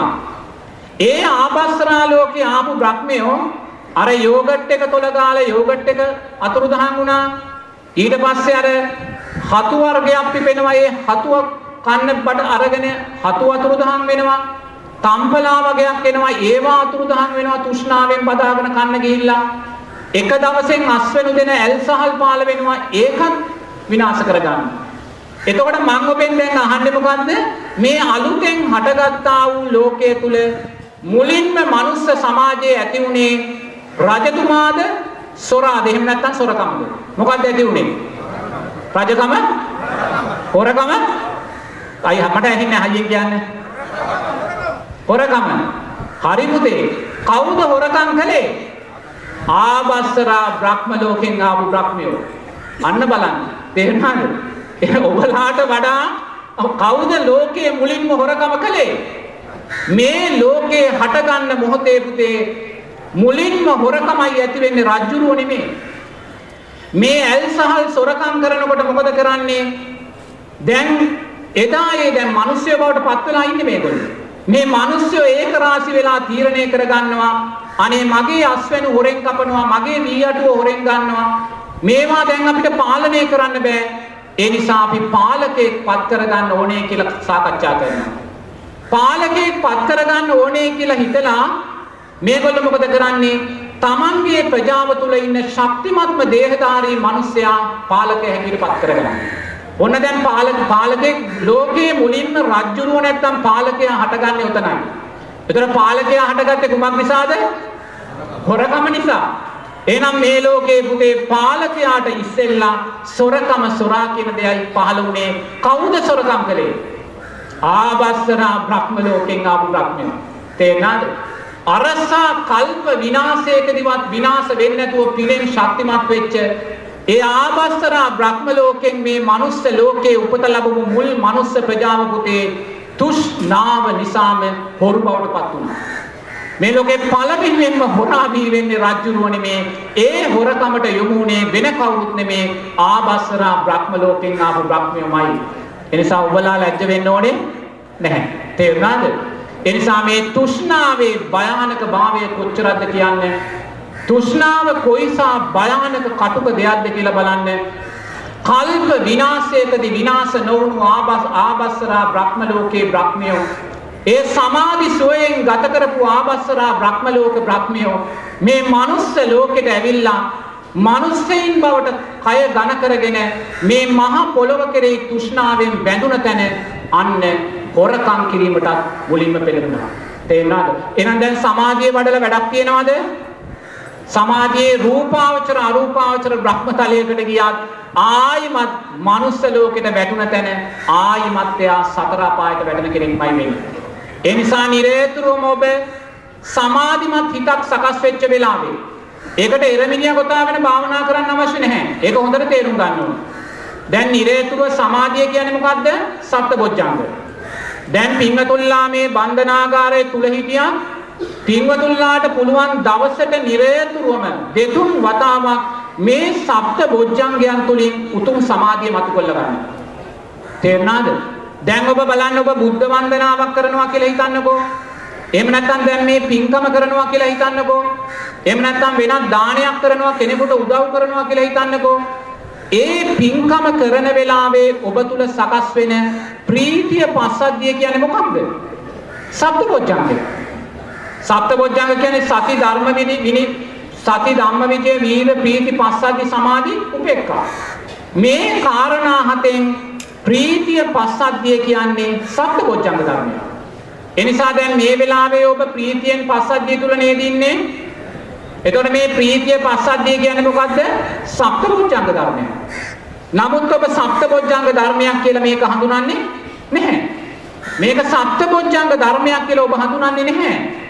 ඒ නිසා ඔබ පින්කමක් කරලා ඇතිවෙන්නා වූ ප්‍රීතිය සතුට තුලින් ඔබ නැවත කාමච්ඡන්දයක්මයි ඇති කරගන්නේ. කාමච්ඡන්දයක්මයි ඇති කරගන්නේ.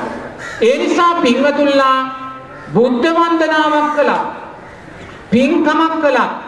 මේ විදිහේ ධර්මයක් ශ්‍රවණය කළා. ඔබට ඇතිවෙන්නා වූ මේ ප්‍රීතිය පස්සද්ධිය සප්ත බොජ්ජංගයක් හැටියට හඳුනගෙන මේ මොහොතේ ඔය සකස් වෙන උපේක්ෂා සාගත හිත විදර්ශනාවට යොමු කරගන්න. විදර්ශනාවට යොමු කරගන්න. නිරේතුරුව විදර්ශනාවට යොමු කරගන්නවා කියන්නේ අර සතර සටිපට්ඨාන ධර්මයන්ට අදාළව ජීවිතේ හිතන්නේ. සතර සටිපට්ඨාන ධර්මයන්ට අදාළව ජීවිතේ හිතන්නේ. එහෙම නැත්නම් පංච උපාදානස්කන්ධ ධර්මයන්ට අදාළව ජීවිතේ හිතන්නේ. දැන් පංච උපාදානස්කන්ධය කියලා කියන්නේ මොකද්ද? රූප, වේදනා, සංඥා, සංකාර, විඥාන කියන කාරණා පහට. නිරේතුරුව පින්වතුල්ලා මේ විවේකීව ඉන්න වෙලාවට මේ රූපේ අනිත්‍යභාවය දකින්න. මේ නිවන් දකින්න කියන අරමුණ අවශ්‍ය නැහැ. කුසල් පක්ෂය වඩා ගන්න. ඔබ මේ රූපය අනිත්‍යයි කියලා දකින මොහොතක් පාසා ලෝභ, ද්වේෂ, මෝහයන්ගෙන් බැහැරවයි ඔබ ජීවත් වෙන්නේ. අලෝභ, අදේශ, අමෝහයන් තුලයි ඔබ ජීවත් වෙන්නේ. එනිසා ඔබ මේ ඇස අනිත්‍යයි කියලා දකින මොහොතේ ඔබ නොදැනුවත්වම කුසල් සංස්කාරයක් ඔබේ ජීවිතයට එකතු වෙනවා. කුසල් සංස්කාරයක් ඔබේ ජීවිතයට එකතු වෙනවා. මේක ඇතුලේ කේන්ති සිත් ඇති කරගන්නේ නැතුව, ද්වේෂ සිත් ඇති කරගන්නේ නැතුව, වෙනයන් විසිරුණු හිතක් ඇති කරගන්නේ නැතුව විවේකයක් ලැබුණ වෙලාවේ විවේකයේ තුලින් කුසලය මත කරගන්න. මොකද ඔබලාට කුසලයේ පින අත්‍යවශ්‍යයි. මේ කුසලයේ පින මතු කරගත්තේ නැත්නම් නැවත නැවත ඔබලාට මෙතෙන්ට එන සිද්ධ වෙවි. එනිසා මේ මොහොත උපයෝගී කරගෙන සමාධිමත් හිතෙන් විදර්ශනාව අත්හැරීම මතු කරගන්න ඔබ දක්ෂ වෙන්න. දැන් මං ඇහුවොත් රූපේ අනිත්‍යභාවය දකින්න කියලා. දැන් අපි කියමු රූපය කියලා කියන්නේ මොකද්ද? ඇස කන නාසය දිව ශරීරය මනස. දැන් ඔබ ඇස අනිත්‍යයි කියලා දකින්න ඔබට පුළුවන්ද? පුළුවන්ද? පුළුවන්ද දකින්න? ඇස අනිත්‍යයි කියලා ඔබට දකින්න පුළුවන්නේ බුදුරජාණන් වහන්සේ පංච උපාදානස්කන්ධයට අදාළව බුදුරජාණන් වහන්සේ දේශනා කරනවා වර්තමාන රූපස්කන්ධය අතීත රූපස්කන්ධය අනාගත රූපස්කන්ධය හැටියට මේ රූපය දකින්න කියලා. තේරුණාද? දැන් මේ වර්තමාන රූපස්කන්ධය කියන්නේ මේ ඇස කන නාසය දිව ශරීරය මනස. ඒතර බලන්න මේ ඇස කන නාසය දිව ශරීරය මේ වර්තමාන රූපේ නිට්ටයද අනිත්‍යද? අයියෙන් කතා කරමු. වර්තමාන රූපේ නිට්ටයද අනිත්‍යද? දැන් මම මෙතන මෙහෙම ඉන්නවා. මෙහෙම ඉන්නකොට එක පාට මට මේ අතට උණු වතුර ටිකක් වැටුනොත් මොකද වෙන්නේ? ලොකු දිය බුබුලක්. එතකොට මේ රූපය නිට්ටයද අනිත්‍යද? නිරේතුරුව මේ වර්තමාන රූපය අනිත්‍යයි. බුදුරජාණන් වහන්සේ දේශනා කරනවා මේ වර්තමාන රූපයේ අනිත්‍ය වගේම අතීත රූපස්කන්ධයේ අනිත්‍යභාවය දකින්න කියලා. අතීත රූපස්කන්ධයේ අනිත්‍යභාවය දකිද්දී බුදුරජාණන් වහන්සේ කියනවා පින්වතුන්ලාට ඔබේ අම්මාගේ මව් කුසට යන්න කියලා. ඔබේ අම්මාගේ මව් කුසේ ඔබ කලල රූපයක් හැටියට හටගත්ත මොහොත ඔබ දකින්න කියනවා.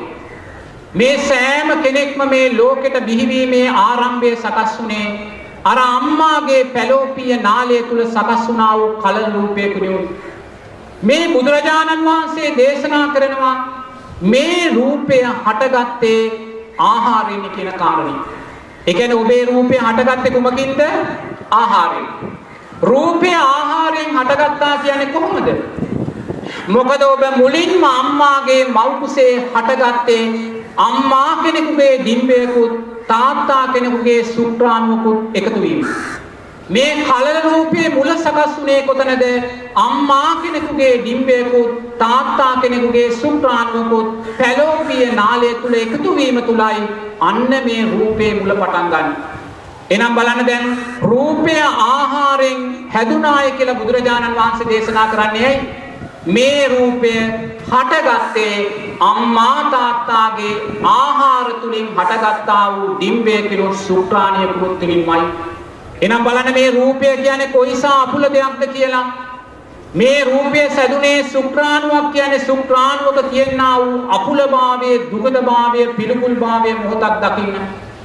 දෑස් දෙක පියාගෙන ශරීරයෙන් පිටව යන ශුක්‍රාණු බිඳුවක තියෙන අපුලභාවයේ දුගදභාවයේ පිළිකුල්භාවයේ මොහොතක් දකින්න මාසයකට වතාවක් කාන්තාවකගේ ශරීරයෙන් පිටවෙන මල ඩිම්බයක තියෙන අපුලභාවයේ දුගදභාවයේ පිළිකුල්භාවයේ නුවණින් දකින්න.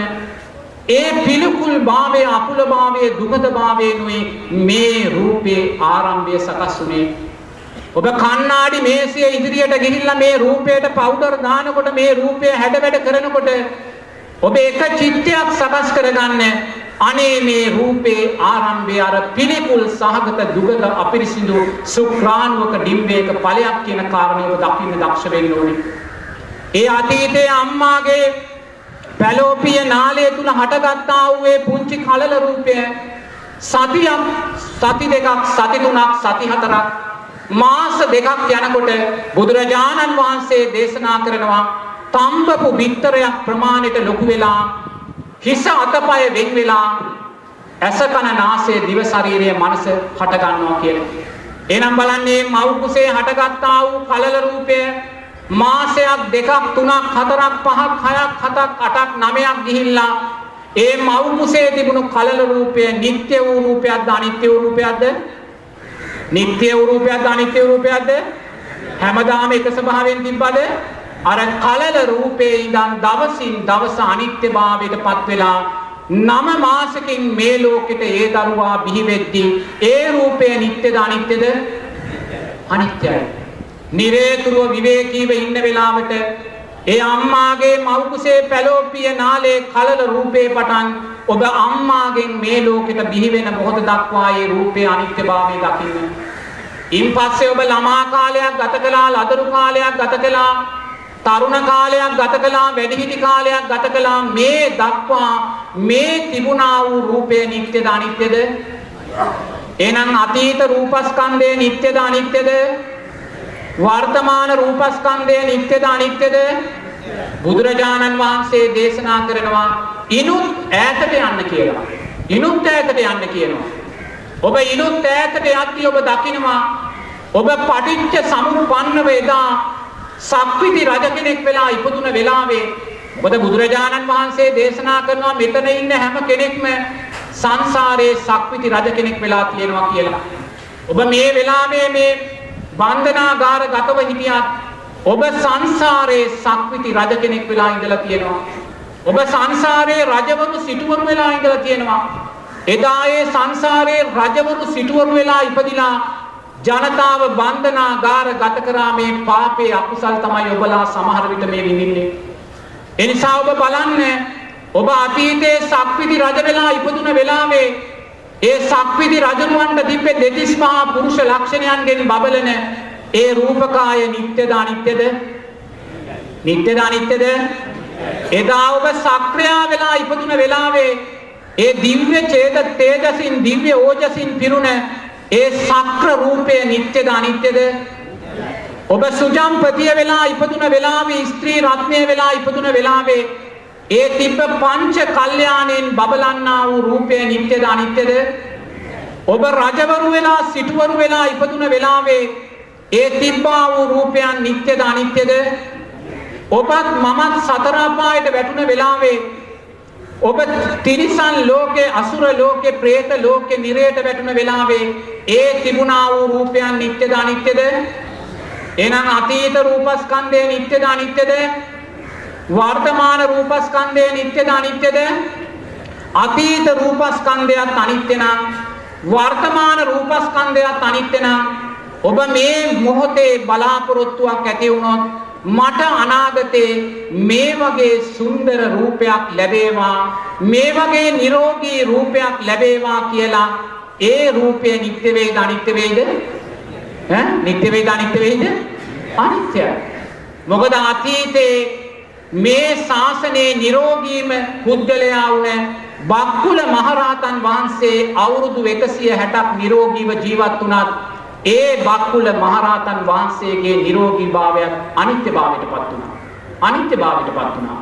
අවුරුදු 84000ක් නිරෝගීව ජීවත් වෙච්ච සක්විති රජුරුවන්ගේ නිරෝගීභාවය අනිත්‍යභාවයටපත් වුණා. එහෙනම් අතීත රූපස්කන්ධයත් අනිත්‍ය නම් වර්තමාන රූපස්කන්ධයත් අනිත්‍ය නම් ඔබ අනාගතයේ මම මේ වගේ ලස්සන දෙවියෙක් වෙනවා කියලා බලාපොරොත්තුවක් ඇති කරගත්තොත් නිත්‍ය වෙයිද අනිත්‍ය වෙයිද අනිත්‍යයි. ඔබ අනාගතයේ මම මේ වගේ ලස්සන බ්‍රහ්ම ලෝකයක උපතක් ලබනවා කියලා බලාපොරොත්තුවක් ඇති කරගත්තොත් ඒක නිත්‍ය වෙයිද අනිත්‍ය වෙයිද? ඒක අනිත්‍යයි. ඒ නිසා නිරේතුරුවම රූපය මේ අතීත වර්තමාන අනාගත හැටියට තුන් කාලයකට දාලා බලන්න. අනාගතයේ ඔබට රූපයන් කෙරෙහි තෘෂ්ණාවක් ඡන්දයක් ඇති වෙන මොහොතක් පාසා අතීතේ සක්විති රජ වෙලා මම හිටියා. දෙයනේ ඒ රූපයත් අනිත්‍ය වුණා. අතීතේ මම සක්‍රයා වෙලා හිටියා ඒ රූපයත් අනිත්‍ය වුණා. අතීතේ මම බ්‍රහ්මය වෙලා දෙවියෝ වෙලා හිටියා. රජවරු සිටුවරු වෙලා හිටියා.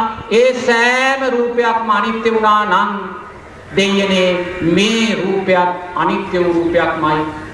මේ අනිත්‍ය වූ රූපයට සැප දෙන්න ගිහිල්ලා ඔබ නැවත ලෝභ ද්වේෂ මෝහ ඇති කරගන්න එපා. ඔබ නැවත සිල්පද බිඳ ගන්න එපා. ඔබ මේ සිල්පද බිඳගන්නේ කුමක් නිසාද? ඔබ මේ ලෝභ දේශයන් ඇති කරගන්නේ කුමක් නිසාද? ඔබ තරහව දේශය පරිගැනීම ඇති කරගත්තේ කුමක් නිසාද? මේ රූපය මගේ කර ගැනීම නිසාමයි. නමුත් සක්විති රජ වෙච්ච වෙලාවෙත් මේ රූපය ඔබට අයිති වුණේ නැහැ. සක්‍රයා වෙච්ච වෙලාවෙත් මේ රූපය ඔබට අයිති වුණේ නැහැ. ඒ රූපය අනිත්‍යභාවයටපත් වුණා. එනිසා මේ රූපය කෙරෙහි මමත්වයේ දැඩිභාවයෙන් තව දුරටත් මං සිල්පද බිඳ ගන්න නෑ කියන තැනට එන්න. අකුසල් මූලයන් රැස් කරගන්න නෑ කියන තැනට එන්න. ඒ ආපු තැන පින්වතුනි අන්න ඔබ පංච උපාදානස්කන්ධයට අදාළව රූපයේ අනිත්‍යභාවය දැක්ව වෙනවා. එතකොට ඊළඟට රූපය ඇසුරෙන් මොකද්ද සකස් වෙන්නේ? රූපය ඇසුරෙන් මොකද්ද සකස් වෙන්නේ? පස්සේ. පස්සේ කියන්නේ මොකද්ද? කාරණා තුනක එකතුව. මොකද කාරණා තුන අධ්‍යාත්මික රූපය, බාහිර රූපය, විඥානය තුන එකතු වෙච්ච තැන අන්න පස්සේ. පස්සේ කියන්නේ මොකද්ද? දැක්කා, ඇසුණා, දැනුණා කියන කාරණය. දැක්කා, ඇසුණා, දැනුණා. දැන් ඔබ බලන්න මේ මොහොතේ ඔබ මේ ඇසෙන් යම් රූපයක් දකිනවා නම් ඒ රූපය නිට්ටයද අනිත්‍යද? ඔබ මේ මොහොතේ මේ කණෙන් යම් ශබ්දයක් අහනවා නම් ඒ ශබ්දය නිට්ටයද අනිත්‍යද? ඔබ මේ මොහොතේ මේ සිතෙන් යම් සිතුවිල්ලක් සිතනවා නම් ඒ සිතුවිල්ල නිට්ටයද අනිත්‍යද? එහෙනම් දැක්ක දේ, ඇසුන දේ, දැනුණ දේ වර්තමාන පස්සේ නිට්ටය වූ දෙයක්ද අනිත්‍ය වූ දෙයක්ද? අනිත්‍ය වූ දෙයක්. එහෙනම් බලන්න වර්තමාන පස්සේ අනිත්‍යයි කියලා ඔබ දැක්කත් බලන්න ඔබ දැක්ක දේ නිසා ඇසුන දේ නිසා දැනෙන දේ නිසා කොයිසා අකුසල කරා අපි ගමන් කරනවද කියලා. ඇයි අපි ගමන් කරන්නේ? මේ පස්සේ අනිත්‍යභාවය අපි දකින්නේ වර්තමාන පස්සේ අනිත්‍යයි වගේම බුදුරජාණන් වහන්සේ දේශනා කරනවා මේ අතීත පස්සේ අනිත්‍යභාවය දකින්න කියලා. දැන් බලන්න ඔබ මේ ඇස් දෙකෙන් මුලින්ම දැක්කේ කවුද? මේ ඇස් දෙකෙන් ඔබ ලෝකෙට බිහි වෙන වෙලාවේ ඔබ මුලින්ම දැක්කේ අම්මා කියන රූපයයි. තාත්තා කියන රූපයයි. ඔබ මේ ඇස් දෙකෙන් මුලින් දැක්ක අම්මා කියන රූපය තාත්තා කියන රූපය නිත්‍ය වූ රූපයක්ද අනිත්‍ය වූ රූපයක්ද? අනිත්‍ය වුණා. ඒතර බලන්න ඔබ මේ ඇස් දෙකෙන් පුංචි කාලේ ඉඳන් කොච්චර දේවල් දකින්නේ නැද්ද කියලා. අර තොටිල්ල දැක්ක සෙල්ලම් බඩු දැක්කා. ළමා පාසල දැක්කා පාසල දැක්කා විශ්වවිද්‍යාලය දැක්කා. මේ සිරගෙදර දැක්කා. මේ ඇසින් දැක්කා වූ පුංචි කාලේ ඉඳන් දැක්කා වූ දේවල් නිත්‍ය වූ දෙයක්ද අනිත්‍ය වූ දෙයක්ද? අනිත්‍යයි. එහෙනම් බලන්න ඔබ පුංචි කාලේ ඉඳන් මේ කන් දෙකෙන් කොච්චර දේවල් අහන්නේ නැද්ද? පුංචි කාලේ ඔබේ අම්මා හුරතලේට අම්මේ පුතේ දුවේ කියලා කතා කරපු මොහොතේ පටන් මේ දක්වා ඔබ මේ කන් දෙකෙන් ඇහුවා වූ සෑම දෙයක්ම නිත්‍ය වුණාද අනිත්‍ය වුණාද? ඔබ පුංචි කාලේ ඉඳන් මේ හිතෙන් කොච්චර සිතුවිලි හිතන්නේ නැද්ද? ඒ හිතියා වූ කිසිම සිතුවිල්ලක් නිත්‍ය වූ සිතුවිල්ලක්ද අනිත්‍ය වූ සිතුවිල්ලක්ද? අනිත්‍ය වූ සිතුවිල්ලක්මයි. එහෙනම් බලන්න අතීත පස්සේ නිත්‍ය වූ දෙයක්ද අනිත්‍ය වූ දෙයක්ද? අනිත්‍ය වූ දෙයක්. ඉනුත් ඈතට යන්න කියලා බුදුරජාණන් වහන්සේ දේශනා කරනවා. ඔබ සක්විති රජවරු වෙච්ච වෙලාවේ ඒ සක්විති රජුරුවේ ඇස් දෙකෙන් කොච්චර දේවල් දකින්නේ නැද්ද? අර අජානීය අස්වැක් දැක්ක අජානීය ඇතෙක් දැක්කා. අර පංච කල්යාණියක් බඳු ස්ත්‍රී රත්නය දැක්කා. සක්විති රජුරුවන්ට දාව ඉපදෙන පුතුන් 1000ක් දැක්කා. මේ දැක්කා වූ දේවල් නිට්ටයද අනිත්‍යද? අනිත්‍යයි. කොච්චරනම් දේවල් අහන්නේ නැද්දේ ඇසුවා වූ දේවල් නිට්ටයද අනිත්‍යද? කොච්චර දේවල් හිතන්නේ නැද්දේ හිතුවා වූ දේවල් නිට්ටයද අනිත්‍යද? එහෙනම් බලන්න අතීත පස්සයත් අනිත්‍ය නම් වර්තමාන පස්සයත් අනිත්‍ය නම් ඔබ මේ මොහොතේ අනාගතේ මට මේවැනි දේවල් දකින්න ලැබේවා කියලා බලාපොරොත්තුවක් ඇති කරගත්තොත් ඒ බලාපොරොත්තුව නිත්‍ය වෙයිද අනිත්‍ය වෙයිද? අනිත්‍යයි. අතීතේ මට මෙවැනි දේවල් අසන්න ලැබේවා කියලා ඔබ බලාපොරොත්තුවක් ඇති කරගත්තොත් ඒ බලාපොරොත්තුව නිත්‍ය වෙයිද අනිත්‍ය වෙයිද? අනිත්‍යයි. අතීතේ මට මෙවැනි සුන්දර සිතුවිලි හිතන්න ලැබේවා කියලා බලාපොරොත්තුවක් ඇති කරගත්තොත් ඒ බලාපොරොත්තුව නිත්‍ය වෙයිද අනිත්‍ය වෙයිද? එහෙනම් බලන්න පංච උපාදානස්කන්ධයේ අනිත්‍යභාවය දකිද්දී අපි මුලින් රූපේ අනිත්‍යභාවය දකින්න දෙවෙනුව රූපය ඇසුරෙන් සකස් වෙන පස්සේ අනිත්‍යභාවය දකින්න තුන්වෙනුව පස්සපච්චයා වේදනා විඳීමේ අනිත්‍යභාවය දකින්න කියනවා විඳීම කියලා කියන්නේ මොකද්ද එක්ක සැප වේදනාවක් එක්ක දුක් වේදනාවක් එක්ක උපේක්ෂා සාගත වේදනාවක් දැන් පින්වතුන්ලා මේ මොහොතේ විඳින්න කුමන වේදනාවක්ද මොකද්ද වේදනාව සැප වේදනාව එහෙම නැත්නම් උපේක්ෂා සාගත වේදනාව එහෙනම් බලන්න මේ සැප වේදනාව නිට්ටයද අනිත්‍යද? අනිත්‍යයි. එහෙනම් වර්තමාන විඳීම නිට්ටය වූ දෙයක්ද අනිත්‍ය වූ දෙයක්ද? බුදුරජාන් වහන්සේ කියනවා අතීත වේදනා ස්කන්ධයට හිත යොමු කරන්න කියලා. අතීත වේදනා ස්කන්ධයෙන් ඔබ මේ ලෝකෙට බිහි වෙච්ච මොහොතේ පටන් ඔබ කොච්චරනම් සැප වේදනා විඳින්නේ නැද්ද? අම්මා තුඩලට ගත්ත වෙලාවේ අම්මා මව්කිරි බෝපු වෙලාවේ අම්මා තොටිල්ලේ දාලා නලවපු වෙලාවේ අම්මා ළමා පාසලට එකතු කරන් ගිය වෙලාවේ අධ්‍යාපනය ලබන වෙලාවේ විවාහ වෙච්ච වෙලාවේ ප්‍රථම දරුවා ලැබුණ වෙලාවේ කොයිසා සැප වේදනාවන් අපි ලබන්නේ නැද්ද? ඒ සැප වේදනාවන් නිට්ටයද අනිත්‍යද? අනිත්‍යයි. අනිත්‍යයි. අපි ජීවිතේ පුරාවට පුංචි කාලේ ඉඳන් කොච්චර දුක් වේදනා ලබන්නේ නැද්ද? අම්මා බයිනකොට අම්මා ගහනකොට කෙනෙක් අපිට අවවාද කරනකොට උසාවියට සිරගෙදරට පොලිසියට යනකොට කොච්චරනම් අපි දුක් වේදනාවන් විඳින්නේ නැද්ද? ඒ දුක් වේදනාවන් නිට්ටයද අනිත්‍යද? ඒ දුක් වේදනාවන් සැප වේදනාවන් වගේම මේ දෙකට මධ්‍යස්ථ උපේක්ෂා සහගත වේදනාවන් කොච්චර විඳින්නේ නැද්ද? ඒ සෑම වේදනාවක්ම අනිත්‍යභාවයටපත් වුණා. එහෙනම් අතීත වේදනා ස්කන්ධයත් අනිත්‍ය නම් වර්තමාන වේදනා ස්කන්ධයත් අනිත්‍ය නම් ඔබ අනාගතේ මට මෙවැනි සැප වේදනාවක් ලැබේවා කියලා බලාපොරොත්තුවක් තියෙනවා නම් නිත්‍ය වේද අනිත්‍ය වේද? නිත්‍ය වේද අනිත්‍ය වේද? මට අනාගතේ මෙවැනි දුක් වේදනාවක් ලැබෙයි කියලා බලාපොරොත්තුවක් තියෙනවා නම් ඒ බලාපොරොත්තුව නිත්‍ය වේද අනිත්‍ය වේද?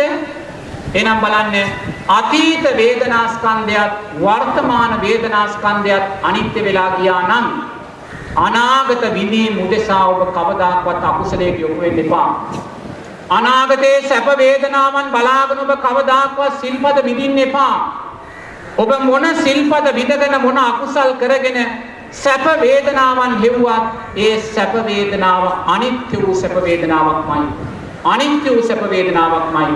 මොකද අතීතයේ සක්විති රජ වෙලා විඳ සැප වේදනාත් අනිත්‍ය වෙලා ගියා. අතීතයේ සක්‍රියා වෙලා විඳ සැප වේදනාවනුත් අනිත්‍යභාවයටපත් වුණා. අතීතයේ දිව්‍ය තලවල ඉඳලා සැප වේදනා අනිත්‍යභාවයටපත් වුණා. අතීතයේ සතර අපායන්ට වැටිලා විඳ දුක් වේදනා අනිත්‍යභාවයටපත් වුණා. එහෙනම් පින්වතුල්ලා දක්ෂ වෙන්න. මම අනාගතයේ සැප වේදනාවක් බලාපොරොත්තු වෙන්නේ අනිත්‍යභාවයටපත් වෙන සැප වේදනාවක් බලාපොරොත්තු වෙන්නේ මං සිල්පදයක් විඳින්නේ නැහැ කියන තැනට එන්න.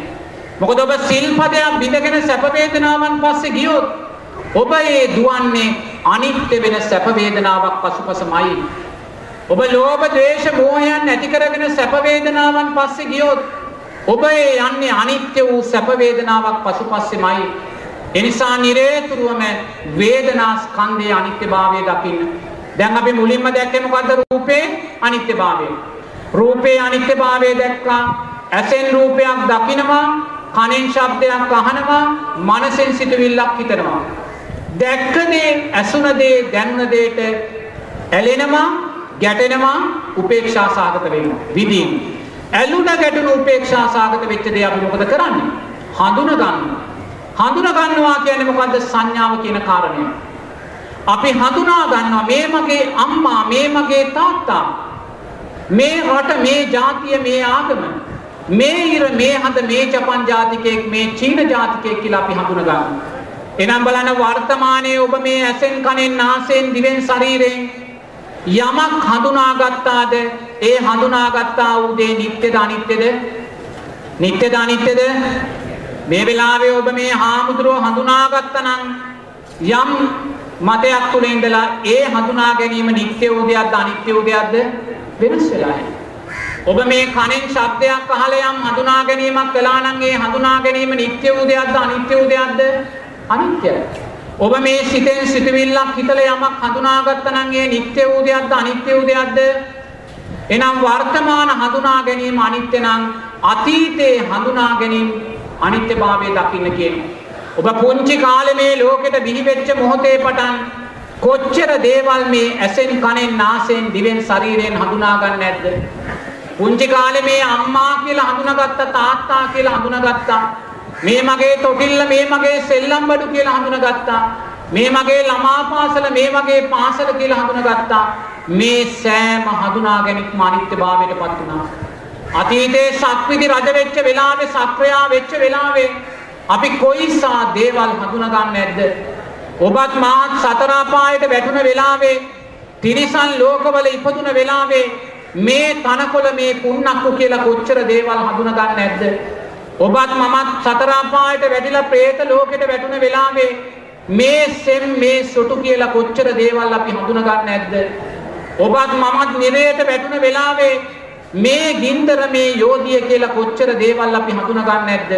නමුත් මේ සෑම හඳුනා ගැනීමක්ම අනිත්‍යභාවයටපත් වුණා. එහෙනම් ඔබ අනාගතයේ යම් දෙයක් හඳුනා ගන්න බලාපොරොත්තු වෙනවා නම් මෙයා මගේ බිරිඳ, මෙයා මගේ දරුවා, මේ මගේ පුතා මුණුපුරා, මේ මගේ ධනස්කන්ධය කියලා යම් හඳුනා ගැනීමක් කරන්න ඔබ බලාපොරොත්තු වෙනවා නම් ඒ හඳුනා ගැනීම නිත්‍ය වේද අනිත්‍ය වේද? අනිත්‍යයි. එනම් බලන්න ඇසෙන් රූපයක් දකිනවා කනෙන් ශබ්දයක් අහනවා මනසින් සිතුවිල්ලක් හිතනවා දැක්ක දේ ඇසුන දේ දැනුන දේට ඔබ ඇලෙනවා ගැටෙනවා උපේක්ෂා සාගත වෙනවා ඇලුන ගැටුණු උපේක්ෂා සාගත වෙච්ච දේ ඔබ හඳුනා ගන්නවා හඳුනාගත ගත්තා වූ දේ ගැන ඔබ මොකද කරන්නේ අන්න හිතනවා හිතනවා කියන්නේ මොකද්ද සංස්කාර රැස් වෙනවා සංඥාපච්චය චේතනා සංස්කාර අපි සිතන සෑම සිතුවිල්ලක් පාසාම අපි සංස්කාරයක් ජීවිතයට එකතු කරගන්නවා. දැන් බලන්න පින්වතුල්ලාද උදේ ඉඳන් මේ වෙනකොට කොච්චර දේවල් හිතන්නේ නැද්ද? උදේ නැගිටින්න කියලා හිත කිව්වා. වතුර එකක් බොන්න හිත කිව්වා, තේ බොන්න හිත කිව්වා, කෑම කන්න හිත කිව්වා. මෙතෙන්ට ඇවිල්ලා වාඩි වෙන්න කියලා හිත කිව්වා. නමුත් දැන් උදේ නැගිටින්න කියපු හිත තියනවද? උදේ තේක බොන්න ඕනේ කියපු හිත තියනවද? මෙතෙන්ට එන්න කියලා සකස් වුණ හිත තියනවද? මේ සෑම හිතක්ම අනිත්‍යභාවයට පත් වෙලා ගියා. මේ සෑම හිතක්ම අනිත්‍යභාවයට පත් උනේ ඔබව ක්‍රියාත්මක භාවයට පත් කරලා. ඒක හොඳට තේරුම් ගන්න. මේ සෑම හිතක්ම අනිත්‍ය උනේ ඔබව ක්‍රියාත්මක භාවයට පත් කරලා. මේ ක්‍රියාත්මක භාවය තුල මොකද වෙන්නේ? එක්කෝ ඔබ කුසලයක් සිද්ධ කරගන්නවා, එක්කෝ ඔබ අකුසලයක් සිද්ධ කරගන්නවා. දැන් මෙතෙන්ට එන්න ඕනේ කියලා හිතක් සකස් වුණා. ඔබ මොකද උනේ ක්‍රියාත්මක භාවයට පත් වුණා. ඒ ක්‍රියාත්මක භාවය නිසා දැන් කුසලයක්ද සිද්ධ වෙන්නේ අකුසලයක්ද? කුසලයක්ද අකුසලයක්ද? අකුසලයක්. දැන් ඔන්න ඔබට ඔබට හිතුණා යම් දවසක මට මෙයාට ගහන්න ඕනේ, මෙයාට බයින්න ඕනේ, මෙයාට පිහියෙන් අයින්න ඕනේ. මේ දේ මංකොල්ල කන්න ඕනේ, මේක දේ හොරකම් කරගන්න ඕනේ කියලා ඔබට හිතක් ඇති වුණා. ඔබ මොකද කළේ? ක්‍රියාත්මක භාවයටපත් වුණා. ක්‍රියාත්මක භාවය තුල මොකද්ද උනේ? කුසලයක් හෝ අකුසලයක් සිද්ධ වුණා. දැන් ඒකේ විපාකය තමයි පින්වතුල්ලා මේ අත්විඳින්නේ. ඒ නිසා නිරේතුරුවම මේ සකස් වෙන සෑම හිතක්ම අනිත්‍යභාවයට පත් වෙලා යනවා. ඒ අනිත්‍යභාවයට පත්වීම තුළ නිරතුරුවම ඔබ ක්‍රියාත්මක භාවයට පත් වෙනවා. ඒ ක්‍රියාත්මක භාවය නිසා එක්ව කුසලයක් සිද්ධ වෙනවා එක්ව අකුසලයක් සිද්ධ වෙනවා. දැන් බලන්න ඊයේ දවසේ ඔබට කොච්චර සිතුවිලි ඇති වෙන්නේ නැද්ද? ඊයේ දවසේ කොච්චර සිතුවිලි ඇති වෙන්නේ නැද්ද? ඒ සිතුවිලි නිසා ඔබට කීපාරක් කේන්තියක් නැද්ද? කීපාරක් ද්වේෂය ඇති වෙන්නේ නැද්ද? කීපාරක් ලෝභසිත ඇති වෙන්නේ නැද්ද? නමුත් දැන් ඒක කේන්තියක්වත් ඔබට ඔබට අයිතිද? අයිතිද? ඊයේ ඇති වුණා වූ එක ද්වේෂසාගත සිතක්වත් දැන් ඔබට අයිතිද? ඔබට අයිති නැහැ. ඔබට අයිති නැහැ කියලා ඔබට තේරුණා ඊයේ ද්වේෂය නිසා හටගත්තා වූ අකුසලයේ විපාකයට ඔබ පිටිපස්සේ තියෙනවා. බලන්න කොයිසා අපරාධයක්ද කියලා. කේන්තිය ඔබට අයිති නැහැ. දැන් ඔබ බන්ධනාගාර ගත වෙන්න යම් හේතුවක් තිබ්බා. ඒ හේතුව මුලින්ම සකස් වුණේ ඔබේ ওই පංච උපාදානස්කන්ධය තුලයි. ඔබ තුල ඔබ යමක් හිතලා ඔබ ඒ හිතුන වෙලාවේ මේ සිතුවිල්ල අනිත්‍යයි කියලා ඔබ දකින්න දක්ෂ වුණේ නැහැ. ඔබ ඒ සිතුවිල්ල තෘෂ්ණාවෙන් තෙත් කළා. ඇලීම් ගැටීම් වලින් ඔබ තෙත් කළා. ඔබ තෘෂ්ණාවෙන් තෙත් කරලා ඔබ එදේ හඳුනාගත්තා. හඳුනගෙන මොකද කළේ? ඔබ සංස්කාර රැස් කළා. අකුසල් සංස්කාරයක්මයි රැස් වුණේ. නමුත් ඔබ එදා මේ වැරැද්ද කරනවායි කියන හිත අනිත්‍යයි කියලා දැක්කනම් ඔබට අද මේ දේ සිද්ධ වෙන්නේ නැහැ. නමුත් ඔබ බලන්න ඔබ මෙතෙන්ට එන්න හේතු වුණා වූ මුල් හිත දැන් ඔබට අයිතිද? දැන් ඔබ හිතන්න ඔබ යම් දවසක මෙයාට ගහන්න ඕනේ කියලා හිතක් සකස් වෙලා ඔබ යාට පාරක් ගැහුවා. එදා ඒ කෙනාට ගහන්න ඕනේ කියලා සකස් වුණ හිත දැන් ඔබට අයිතිද? අපරාධයක්. ඒ හිත ඔබට අයිති නැහැ. පස්ස පච්චයා වේදනා පස්සේ නිසා සකස් වුණා වූ විඳීම. ඔබ දැක්ක දේ ඔබේ සක්කාය දිට්ඨියට අදාළව තෘෂ්ණාවෙන් තෙත් කළා. තෘෂ්ණාවෙන් තෙත් කරපු තැන අන්න ගැටීම සකස් වුණා. එනම් බලන්න එදා ඒ හිත අනිත්‍යයි කියලා දකින්න බැරි වුණ නිසා අන්න ඒ සකස් වුණා වූ සිතුවිල්ල තුල සකස් වුණා වූ අකුසලයේ විපාකයට ඔබ දැන් යටත් වෙලා ජීවත් වෙනවා. ඒ නිසා නිරේතුරුව දකින්න ඔබ සකස් කරගන්න සෑම සිතුවිල්ලක් පාසාම ඔබ භවයට යන්නා වූ සංස්කාරයක් රැස් කරනවා. භවයට යන්නා වූ සංස්කාරයක් රැස් කරනවා. ඔබ ඇස් දෙක පියාගෙන විනාඩි 5 මේ සකස් වෙන සෑම සිතුවිල්ලක්ම අනිත්‍යයි අනිත්‍යයි අනිත්‍යයි කියලා දකිමින් හිටියොත් ඒ පැය භාගය තුල ඔබ භවයට යන සංස්කාරයක් රැස් කරන්නේ නැහැ. භවයට යන සංස්කාරයක් ඔබ රැස් කරන්නේ නැහැ. නමුත් ඔබ සකස් වෙන සිතුවිල්ලක් නිත්‍ය වශයෙන් ගන්න මොහොතක් පාසා ඔබ එක්ක කුසල් සංස්කාරයක් එක්ක අකුසල් සංස්කාරයක් රැස් කරනවා. රැස් කරලා ඔබ භවයට යන භවාත්‍රයට යන සංස්කාරයක් ඔබ ජීවිතයෙන් එකතු කරගන්න. ඒ නිසා නිරේතුරුවම ඔබ හිතන්නේ පුළුවන් තරම් හිතන දේ අඩු කරගන්න. හිතන ප්‍රමාණයට අකුසල් හෝ කුසල් රැස් වෙනවා වැඩි. හිතන්න ඕනේ නම් කුසල් අරමුණක් හිතන්න. සීලය ගැන හිතන්න බුදුරජාණන් වහන්සේ ගැන හිතන්න. ඉන් මෙහා ලෝභ ද්වේෂ මෝහයන් හිතන හිතන මොහොතක් පාසා අකුසල් හිතක්මයි වැඩෙන්නේ අකුසල් හිතක්මයි වැඩෙන්නේ. අකුසල් හිත් වැඩෙන්න වැඩෙන්න වැඩෙන්න අතීතයේ විපාක නොදුන්නා වූ අකුසල්මයි මතුවලා එන්නේ අකුසල්මයි මතුවලා එන්නේ. ඒ අකුසල් මතුවීම නිසා තව තව තව තව අපි තුල රූපය කෙරෙහි සක්කාය දිට්ඨිය වැඩි වෙනවා. වේදනාව කෙරෙහි සක්කාය දිට්ඨිය වැඩි වෙනවා. සංඥාව, චේතනාව, විඥානය කෙරෙහි සක්කාය දිට්ඨිය වැඩි වෙනවා. සක්කාය දිට්ඨිය වැඩි වෙන්න වැඩි වෙන්න ලෝභ, දේශ, මෝහයන් වැඩි වෙනවා. ලෝභ, දේශ, මෝහයන් වැඩි වෙන්න වැඩි වෙන්න නිරේතුරුවම අපි සමාජයත් සමග ගැටෙන දිශාවටමයි ගමන් කරන්නේ.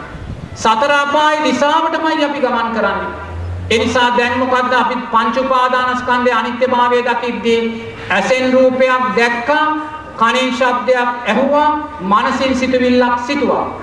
දැක්ක දේ ඇසුන දේ දැනුන දේට ඇලුනා ගැටුණා උපේක්ෂා සාගත වුණා. ඇලුන ගැටුණු උපේක්ෂා සාගත වෙච්ච දේ හඳුනාගත්තා. හඳුනාගත්තා වූ දේ ගැන හිතුවා. හිතුවා ගැන සංස්කාර රැස් වුණා හිතුව දේ ගැන අපි මොකද කරන්නේ? විශේෂ වූ දැනීමක් ඇති කර ගන්නවා අපි කෙනෙක්ව හඳුනා ගන්නවා හඳුනාගෙන එයා ගැන හිතනවා. හිතලා මෙයා සත්පුරුෂයෙක්, මෙයා අසත්පුරුෂයෙක් කියලා දැනගන්නවා. අපි ආහාරයක් කනවා. ඒ ආහාරය හඳුනා ගන්නවා. හඳුනාගෙන ඒ ආහාරය ගැන හිතනවා. හිතලා මේ ආහාරය තික්තයි, මේ ආහාරය ඇඹුල්ල කියලා අපි හඳුනා ගන්නවා. එනම් බලන්න පින්වතුන්ලාගේ ජීවිතය තුළ වර්තමානයේ ඇති කර ගන්නා වූ මේ සෑම දැනීමක් මේ කියන්නේ විඥානයක්ම නිත්‍ය වූ දෙයක්ද අනිත්‍ය වූ දෙයක්ද මේ හාමුදුරුවෝ ඔබ හොඳයි කියලා හඳුනාගත්ත නම් ඒ හඳුනා ගැනීම නිත්‍යද අනිත්‍යද අනිත්‍ය උදයක්. එහෙනම් වර්තමාන දැනීම අනිත්‍ය නම් වර්තමාන මේ සකස් වෙන්නා වූ විඥානය අනිත්‍ය නම් අතීතයේ ඔබ පුංචි කාලේ ඉඳන් මේ දක්වා ඇති කරගත්තා වූ විශේෂ වූ දැනීම් නිත්‍ය වූ දෙයක්ද අනිත්‍ය වූ දෙයක්ද අම්මා නිසා අම්මාගේ ආදරය නිසා අම්මාගේ හුරතලය නිසා සමාජයේ පාසල් යද්දී විශ්වවිද්‍යාලය යද්දී ආදරය කරද්දී අපි යම් විශේෂ වූ දැනීමක් ඇති කරගත්තා නම් ඒ විශේෂ වූ දැනීම නිත්‍ය වූ දෙයක්ද අනිත්‍ය වූ දෙයක්ද අනිත්‍ය වූ දෙයක්. අපි සක්විති රජ වෙලා ඉපදුන වෙලාවේ කොච්චර විශේෂ දැනීම් ඇති කරගන්න නැද්ද? අපි නිරයට වැටිලා ගින්දරත් යෝධියත් එක්ක දුක් විඳින වෙලාවේ කොච්චරනම් දැනීම් ඇති කරගන්න නැද්ද? ඒ සෑම දැනීමක්ම අනිත්‍ය වෙලා ගියා. ඒ නිසා මේ මොහොතේ වර්තමාන දැනීමත් අනිත්‍ය නම් අනාගත දැනීමත් අනිත්‍ය වෙලා ගියා නම් අතීත දැනීමත් අනිත්‍ය වෙලා ගියා නම් ඔබ අනාගතයේ යම් විශේෂ වූ දැනීම් ඇති කරගී තියෙනවා නම් ඒ දැනීම් නිත්‍ය වේද අනිත්‍ය වේද? අනිත්‍ය දැන් එහෙනම් මොකද්ද මේ අපි උදේ ඉඳන් කර කර ඉන්නේ කියලා හිතන්නේ? දැන් ඔබ හිතන්නේ ඔබ මේ මෙතෙන්ට එන්න හේතු වුණ හිත හිතලා බලන්නකෝ. මෙතෙන්ට එන්න ඔබ මුල් බීජ හේතුවක් තියෙනවනේ. ඒ හේතුවට හිත අරන් යන්න. දැන් ඒ හේතුව පංච උපාදානස්කන්ධයට දාලා බලන්න. මොකද්ද මුලින්ම උනේ? ඔබ ඇහෙන් රූපයක් දැක්කා. කනෙන් ශබ්දයක් ඇහුණා. මනසෙන් සිතුවිල්ලක් හිතුවා. දැන් මුල උතනින් තමයි පටන් ගත්තේ. තරහකාරයෙක් දැක්කත් වැරදි දෙයක් කළත් මුල උතනින් පටන් ගත්තේ. ඇහෙන් රූපයක් දැක්කා කනෙන් ශබ්දයක් ඇහුණා මනසට සිතුවිල්ලක් හිතුවා. දැක්ක දේ ඇසුන දේ දැනුණ දේට එක්කෝ ඔබ ඇලුනා එක්කෝ ඔබ ගැටුණා ඒ දෙකෙන් එකක් එදා සිද්ධ වුණා. මේ ඇලුන ගැටුණ දේ ඔබ හඳුනාගත්තා. හඳුනාගත්තා වූ දේ ගැන ඔබ හිතුවා. හිතුවා වූ දේ ගැන ඔබ විශේෂ දැනීමක් මම මෙයාට ගහනවා මම මෙයාව මරනවා කියන විශේෂ දැනීම ඇති කරගන්නවා. මේ ඇති කරගත්තා වූ මේ පංච උපාදානස්කන්ධයේ එකම උපාදානස්කන්ධයක්වත් නිට්ටයද? දැන් රූපේ නිට්ටය වූ දෙයක්ද? වේදනාව නිට්ටය වූ දෙයක්ද? සංස්කාරය නිට්ටය වූ දෙයක්ද?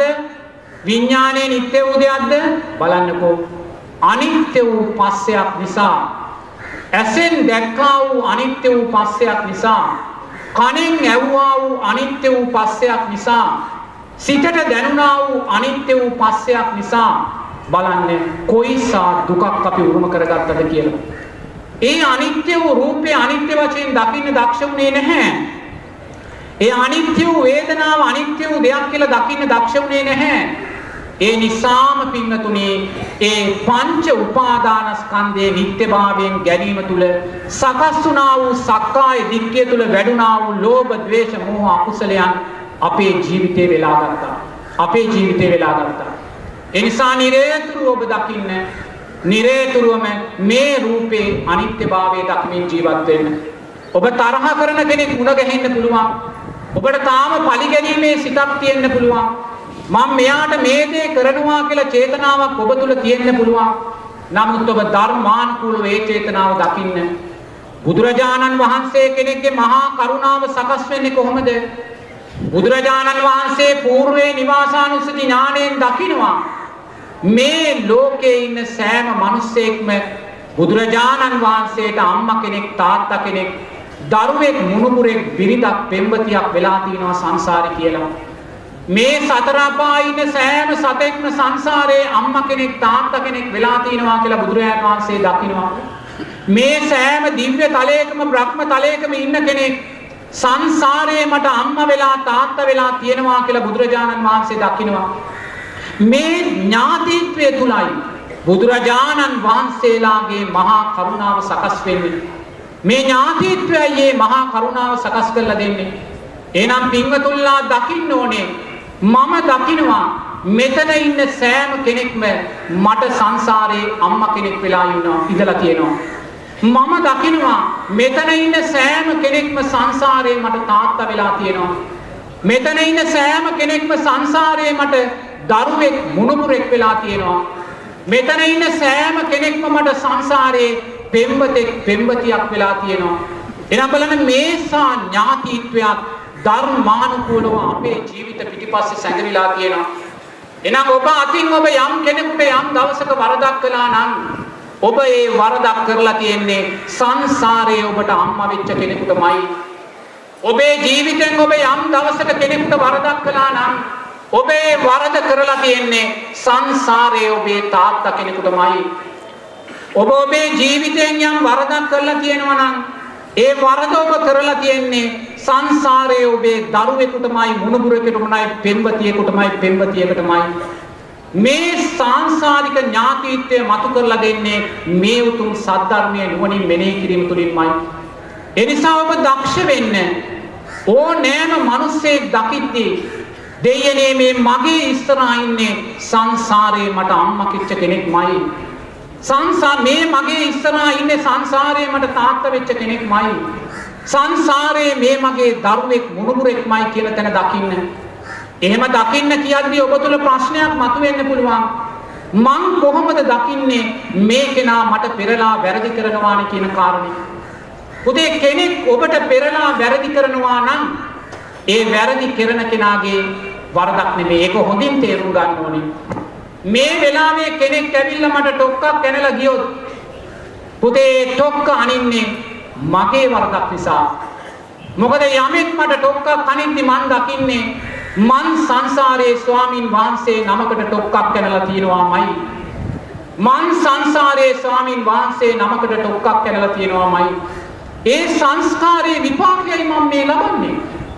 ඒ නිසා යම් මොහොතක ඔබට යම් දුක් වේදනාවක් ඇති වුණා නම් යම් හේතුවක් නිසා ඒ අනුන් නිසා නම් නෙමෙයි ඒක හොඳට තේරුම් ගන්න.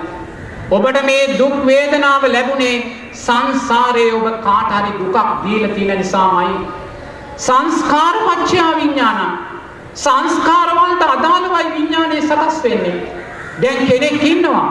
ඒ කෙනා තව කෙනෙක්ව දකිනවා. දකින වෙලාවෙ එක පාට එයා hina වෙනවා මෛත්‍රී සිතක් ඇති වෙනවා. ඇයි මෛත්‍රී සිතක් ඇති වුනේ? සංස්කාර පත්‍යා විඥාන. අදාළ සංස්කාරයන්ට අදාළව එයා අතීතයේ දෙන්නාගේ හිතවත්කම් මත අන්න මෛත්‍රී චිත්තයක් එයා තුළ සකස් වුණා. තව කෙනෙක් ඉන්නවා. එයා කෙනෙක්ව දකින මොහොතේම ද්වේෂයක් ඇති වෙන්නේ. මොකක්ද මේ ද්වේෂය? සංස්කාර පත්‍යා විඥාන. අතීතයේ ද්වේෂ කරගත්තා වූ දෙන්නෙක්මයි. එනිසා අපේ දැනීම් සකස් වෙන්නේ සංස්කාරයන්ට අදාළවයි. නමුත් මේ සංස්කාර අනිත්‍ය වූ ධර්මයක්. එනිසා නිරේතුරුවම ඔබට කෙනෙක් වැරද්දක් කළා නම් ඒ ඔබේ වරදින්මයි. ඒක හොඳට තේරුම් ගන්න. ඔබ සංසාරයේ එයාට වරද්දක් කරලා තියෙනවා. කෙනෙක් අපිට ඔරවන්නේ මං සංසාරයේ කාට හරි ඔරවලා තියෙනවා. කෙනෙක් මට බයින්නේ මං සංසාරයාට බැනලා තියෙනවා. කෙනෙක් මේ මොහොතේ සිරගත වෙලා තියෙන එයා සංසාරේ කෙනෙක්ව සිරගත කරලා තියෙනවා. එහි ඵලයනුයි අපි මේ මොහොතේ ලබන්නේ. බුදුරජාණන් වහන්සේ දේශනා කරනවා ඔබ මේ මොහොතේ ඇහෙන් කඳුලක් කෙලනවා නම් ඒ කියන්නේ ඔබ සංසාරේ කාට හරි කඳුලක් දීලා තියෙනවා. ඔබ මේ මොහොතේ සිනාසෙනවා නම් ඔබ සංසාරේ කාව හරි සතුටු කරලා තියෙනවා. සිනහවත් කඳුලක් කියන්නේ ඔබ කරගත්තා වූ දෙයක්මයි. ඒක හොඳට තේරුම් ගන්න. සිනහාවත් කඳුලක් කියන්නේ ඔබ කරගත්තා වූ දෙයක් නම් සිනහාව විතරක් ඔබේ කරගෙන කඳුලට ඔබ ගැටෙන්න යනවා නම් ඒක බලවත් අසාධාරණයක්. ඒ නිසා නිරේතුරුවම ඔබ දකින්න මෙත්සිත වඩමින් සුවපත් වේවා කියන චිත්තය වඩමින් ඔබේ ඉදිරියට එන ඕනෑම තරහකාරයෙක් ඔබේ හිතේ යම් කෙනෙක් කෙරෙහි තරහක් තියෙනවා නම් ද්වේෂයක් තියෙනවා නම් පරිගැනීමක් තියෙනවා නම් කරුණා කරලා ඒ ද්වේෂ සහගත විදෙන් විදෙන් ඒ ද්වේෂය පරිගැනීම නිරේතුරුව ඔබ සකස් කරගන්න මොහොතක් පාසා අතීත අකුසල් නිසා අනුන් නිසා තව තව අකුසල් රැස් වෙන අවාසනාවන්තයෙක් බවට අපිපත් වෙනවා. අවාසනාවන්තයෙක් බවට පත් වෙනවා. මොකද ලෝතුරා බුදුරජාණන් වහන්සේලා කවදාක්වත් ලෝකය හදන්න ගියේ නැහැ. බුදුරජාණන් වහන්සේලා දන්නවා බුදුරජාණන් වහන්සේලාට ලෝකය හදන්න බෑ කියලා. බුදුරජාණන් වහන්සේ මහා කරුණාවෙන් උතුම් ධර්මය දේශනා කරලා බුදුරජාණන් වහන්සේලා පිරිනිවී ගියා. බුදුරජාණන් වහන්සේලා පිරිනිවී ගියත් අපි තාමත් මොකද කරන්නේ? අපි ලෝකය හදන්න යනවා. වැරද්දට දඬුවම් දීලා ගහපු කෙනාට ගහලා බැනපු කෙනාට බැනලා කරපු වැරද්දට පෙරලා වැරද්දක් කරලා තාමත් අපි අනුන්ව හදන්න යනවා ලෝකය හදන්න යනවා. නමුත් පුතේ බුදුරජාණන් වහන්සේලා ලෝකය හදන්න ගියේ නෑ. බුදුරජාණන් වහන්සේලා දන්නවා මේ ලෝකය හදන්න බැරි බැරි ලෝකයක් කියලා.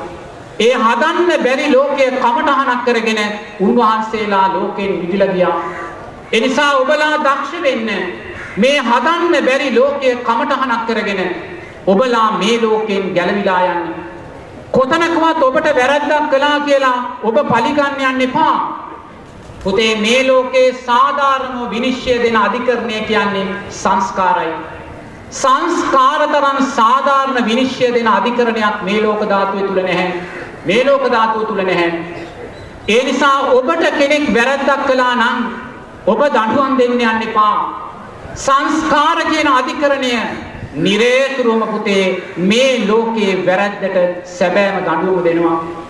කෙනෙක් කෙනෙකුට ගැහුවොත් කෙනෙක් සොරකම් කළොත් බුදුරජාන් වහන්සේ දේශනා කරනවා කෙනෙක් කෙනෙකුට හිංසාවක් කළොත් ඒ හිංසාව නිසා ඔබ පෙරලා උන්ට හිංසා කරද්දී අද්දී ඔබලා දෙදෙනාම හිංසාවට අදාළ සංස්කාරයන් රැස් කරගන්න. ඒ නිසා ඔබ ඔබට ගැහුවායි කියලා ඔබත් ගහන්න ගියොත් පුතේ මේ ප්‍රශ්නේ විසඳන්න බෑ. මොකද ලෝකයේ තව කල්ප සියක් කෝටි ගාණක් අනාගතයට ඉදිරියට යනවා. තව අනාගතයේ බුදුරජාණන් වහන්සේලා ලක්ෂ ගාණක් පහළ වෙනවා. ඒ නිසා ලෝකේ නැවතීමක් නැහැ. ලෝකයේ නොනමතින දිශාවට තමයි මායයා පංච උපාදානස්කන්ධ මායයා වෝ මෙහෙවන්නේ. ඒ නිසා ගහනකොට ගහන්න කියලා තමයි හිත කියන්නේ. බයිනකොට බයින්න කියලා තමයි හිත කියන්නේ. මරනකොට මරන්න කියලා තමයි හිත කියන්නේ. නමුත් පුතේ හිත කියන්නේ පංච උපාදානස්කන්ධ මායයාමයි. ඒ නිසා ඔබ දක්ෂ වෙන්න, ඔබ නවතින්න. ලෝකයේ දුවපු දෙන්නේ කෙනෙක් ඇවිල්ලා මට බැන්නොත් මම ඔහුට පෙරලා බහින්නේ නැහැ. මොකද මම දිවීම නතර කළා වූ භික්ෂුවක්. මම නැවත දුවන්නේ නැහැ. මං දන්නවා ඔහු ඇවිල්ලා මට බයින්නේ සංසාරේ මම ඌට බැනලා තිබ්බ නිසාමයි කියලා. ඒ නිසා සංසාරයේ දීර්ඝ කාලයක් අපි අපිට බැන බැන බැන බැන ද්වේෂය වඩමින් ද්වේෂය වඩමින් ආවා. සංසාරයේ දීර්ඝ කාලයක් ගහගෙන මරාගෙන ද්වේෂය වඩමින් වඩමින් අපි ආවා. එහේ ඇවිල්ලා දැන් මේ මොහොතේදී ඔහු මට බනිද්දී මම නැවතිලා ඉන්නවා. ඔහු මට ගහද්දි මම නැවතිලා ඉන්නවා. ඔහු මාව මරද්දි මම නැවතිලා ඉන්නවා. ඔහු දුවනවා මම නැවතිලා ඉන්නවා. එනිසා ඔබ මේ නැවතීම කියන තැන හොඳින් තේරුම් ගන්න. අනුන් සංස්කාර රැස් කරපු දෙන් අනුන් අකුසල් කරපු දෙන් අනුන්ගේ අකුසල් නිසා ඔබ දුවන කෙනෙක් බවට පත් වෙන්න එපා. දැන් ඔබ මේ භව ගමනේ මේ බන්ධනාගාරයට දිව්‍ය කුමක් ආවේ කුමක් නිසාද? අතීත අනුන්ගේ අකුසලයක් නිසා ඔබ දුවන්න පටන් ගත්තා. ඔහු ගැහුව නිසා මම ගැහුවා. ඔහු බැන්න නිසා මම ගැහුවා. ඔබ නවතින්න දක්ෂ වුණේ නෑ. එනිසා අතීත සංස්කාරයන් විපාකෙට එද්දී ඔබ දුවන්න එපා. දුවනවා කියන්නේ මොකද්ද? ඔබ ලෝභ, ද්වේෂ, මෝහ අකුසල් ඇති කරගන්න එපා. අතීත අකුසල් එද්දී නවතින්න. අනුන් වනිද්දී ඔබ සුවපත් වේවා කියලා හිතන්නේ. අනුන් ගහද්දී ඔබ සුවපත් වේවා කියලා හිතලා පුතේ මේ භවයේ එන වෛරය ඔබ මෙතනින් නවත්ත ගන්න. ඔබ ගහනකොට ගහන්න ගියොත් ඔබ මේ වෛරය තම සංසාරේ අරගෙන යනවා. මොකද මේ പ്രേත ලෝකවල ඉන්නවා යක්ෂ ලෝකවල ඉන්නවා මේ මනුස්ස ලෝකයේ द्वේෂය අරගෙන සතර අපායට වැටිච්ච අය. දැන් මේ പ്രേත ලෝකේ പ്രേතයෝ දෙන්නෙක් ඉන්නවා. මේ പ്രേතයෝ දෙන්නගෙන් එක പ്രേතෙක් බොහොම අහිංසක പ്രേතෙක්. අනිත් කෙනා ටිකක් බියු ප්‍රේතෙක් මේ പ്രേත ලෝකෙදි මේ പ്രേතයෝ දෙන්න හමු වෙනවා මේ හමු වෙලා මේ අර ශාරීරික ශක්තිමත් പ്രേතයා මොකද කරන්නේ අර දුර්වල പ്രേතයාගේ හිසෙන් මේ අත් දෙක පිටිපස්සට දාලා හිස අල්ල ගන්නවා හිස අල්ලගෙන ඔලු දෙක එකට ගහලා කුඩු කරලා එතන දෙන්නම කුඩු කර ඔලු දෙක එකට ගහගෙන කුඩු කරන්නේ. ඇයි? අර ද්වේෂයේ වෛරයේ පරිගැනීම.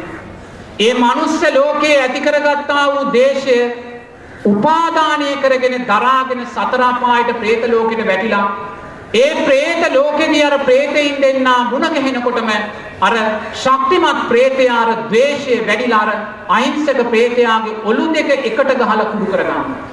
කුඩු කරගෙන එතනම මැරෙනවා. මැරිලා ආයිමත් එයා උප්පත්තිය ලබනවා. ආයිමත් දෙන්න උප්පත්තිය ලබනවා. ආයිමත් දෙන්න උප්පත්තිය ලැබලා ආයිමත් ಗುಣ ගහනවා ආයිමත් ඔලු දෙක එකට ගහලා කුඩු කරගන්න. එතකොට මේ പ്രേතයින් දෙන්නා කවුද?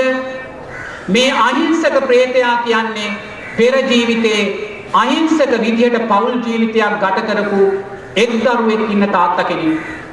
මොකද මේ අහිංසක പ്രേතයා මැරෙන වෙලාවේ ඔලු දෙක ගහගෙන කුඩු කරගෙන මැරෙන වෙලාවේ ඒ අහිංසක പ്രേතයා මැරෙන්නේ අනේ මගේ දුවේ කියාගෙනයි මැරෙන්නේ. අනේ මගේ දුවේ කියාගෙන මැරෙන්නේ. එතකොට මේ භික්ෂුව මේක ගලපලා තියෙනවා ඇයි මේ අහිංසක ප්‍රේතයා ඔළු දෙක ගහගෙන මරණ වෙලාවේ අනේ මගේ දුවේ කියාගෙන මැරෙන්නේ කියලා.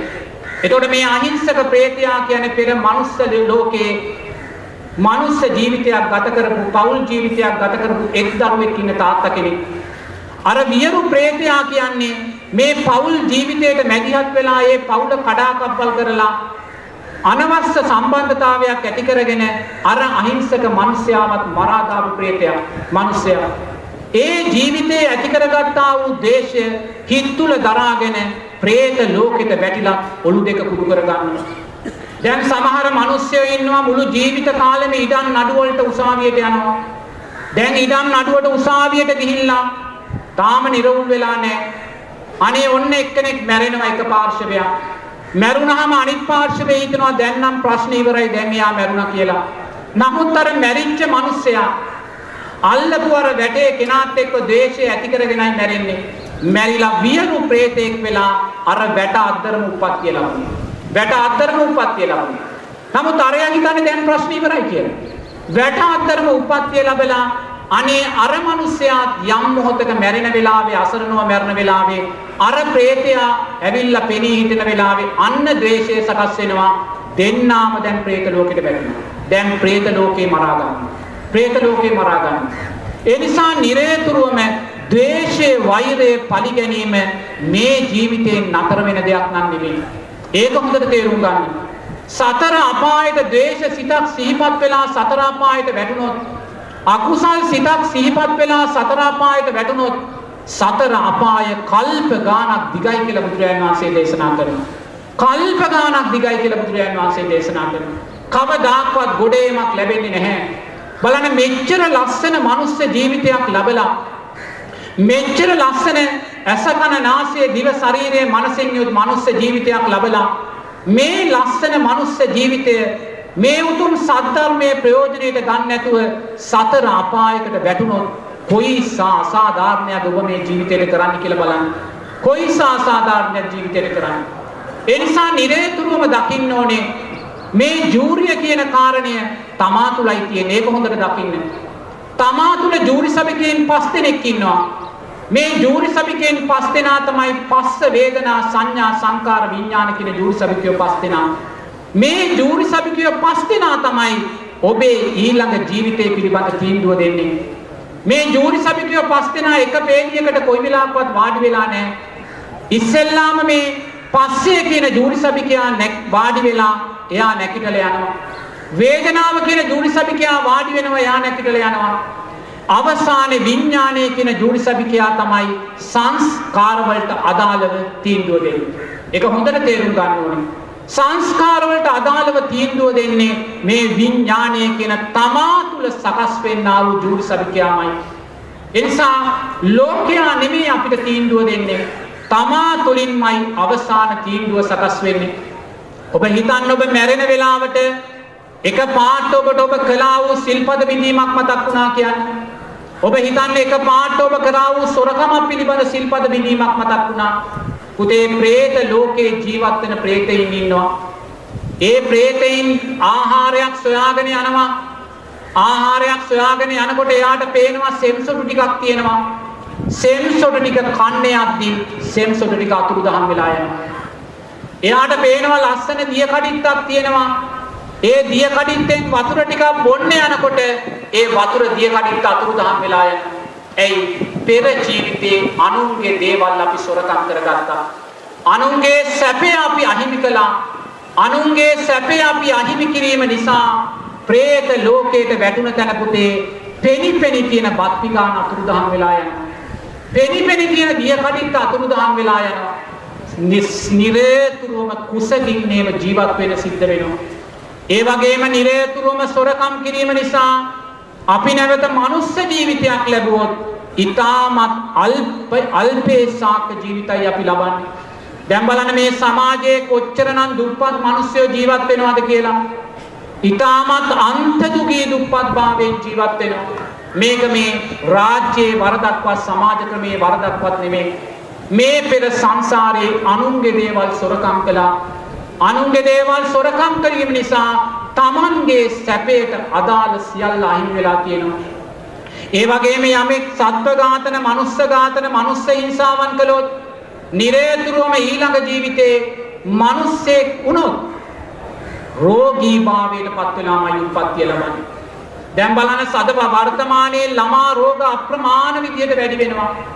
ඒ ඇයි මේ වැඩි වෙන්නේ? සොයාගන්න බැරි ලෙඩ රෝග එනවා. මේ සියල්ලම පින්නතුනේ පෙර ජීවිතයේ සත්ව හිංසාවන් සත්ව ඝාතන නිසාමයි. ඒ වගේම කාමයේ වරදවා හැසිරීමේ විපාකය හැටියට പ്രേත ලෝකෙකට වැටුනොත් പ്രേත ලෝකේ ජීවත් වෙන പ്രേතයන් പ്രേතියන් ඉන්නවා. ඒ പ്രേතියන්ගේ මුළු ශරීරෙම කුණු වෙලා වන වෙලා තියෙන්නේ.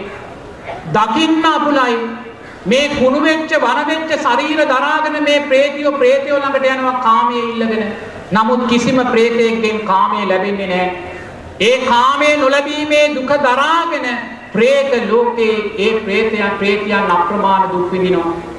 ඒ වගේමයි කාමයේ වරදවා හැසිරීලා නැවත මනුස්ස ජීවිතයක් ලැබුවොත් ළමා කාලයේම ගණිකා වෘත්තියට යොමු වෙනවා. මේ වර්තමාන සමාජයේ ළමා ගණිකා වෘත්තිය ලෝකයේ වේගයෙන් ඉහළ යනවා. මේ ළමා ගණිකා වෘත්තිය මේසා වේගයෙන් ඉහළ යන්නේ ඇයි?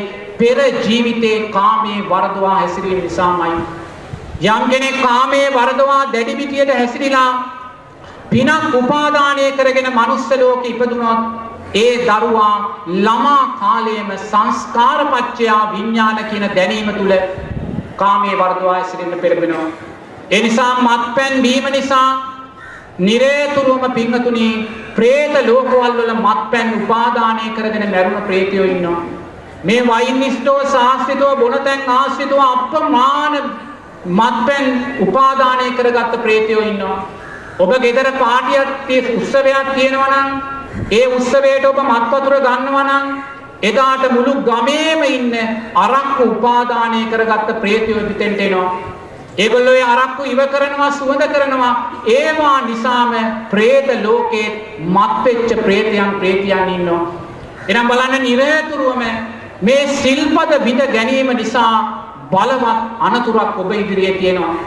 මේ බලවත් අනතුරක් තිබුණත් ඔබ මේ සිල්පද බිඳගන්නේ අනිත්‍ය වූ රූපයක් නිසා අනිත්‍ය වූ වේදනාවක් නිසා අනිත්‍ය වූ හඳුනා ගැනීමක් නිසා අනිත්‍ය වූ සංස්කාරයක් නිසා අනිත්‍ය වූ විඥානයක් නිසාමයි එනිසා දක්ෂ වෙන්න මම මුලින් මතක් කළා වගේ මේ සිරගෙදර මේ බන්ධනාගාරය පන්සලක් කරගන්න පන්සලටම යන්න ඕනේ නෑ ඔබ පින්කම් කරන්න ආරණ්‍යෙටම යන්න ඕනේ නෑ පින්කම් කරන්න ඔබට එදාට වඩා ලස්සන අවස්ථාවක් මේ මොහොතේ ලැබිලා තියෙනවා.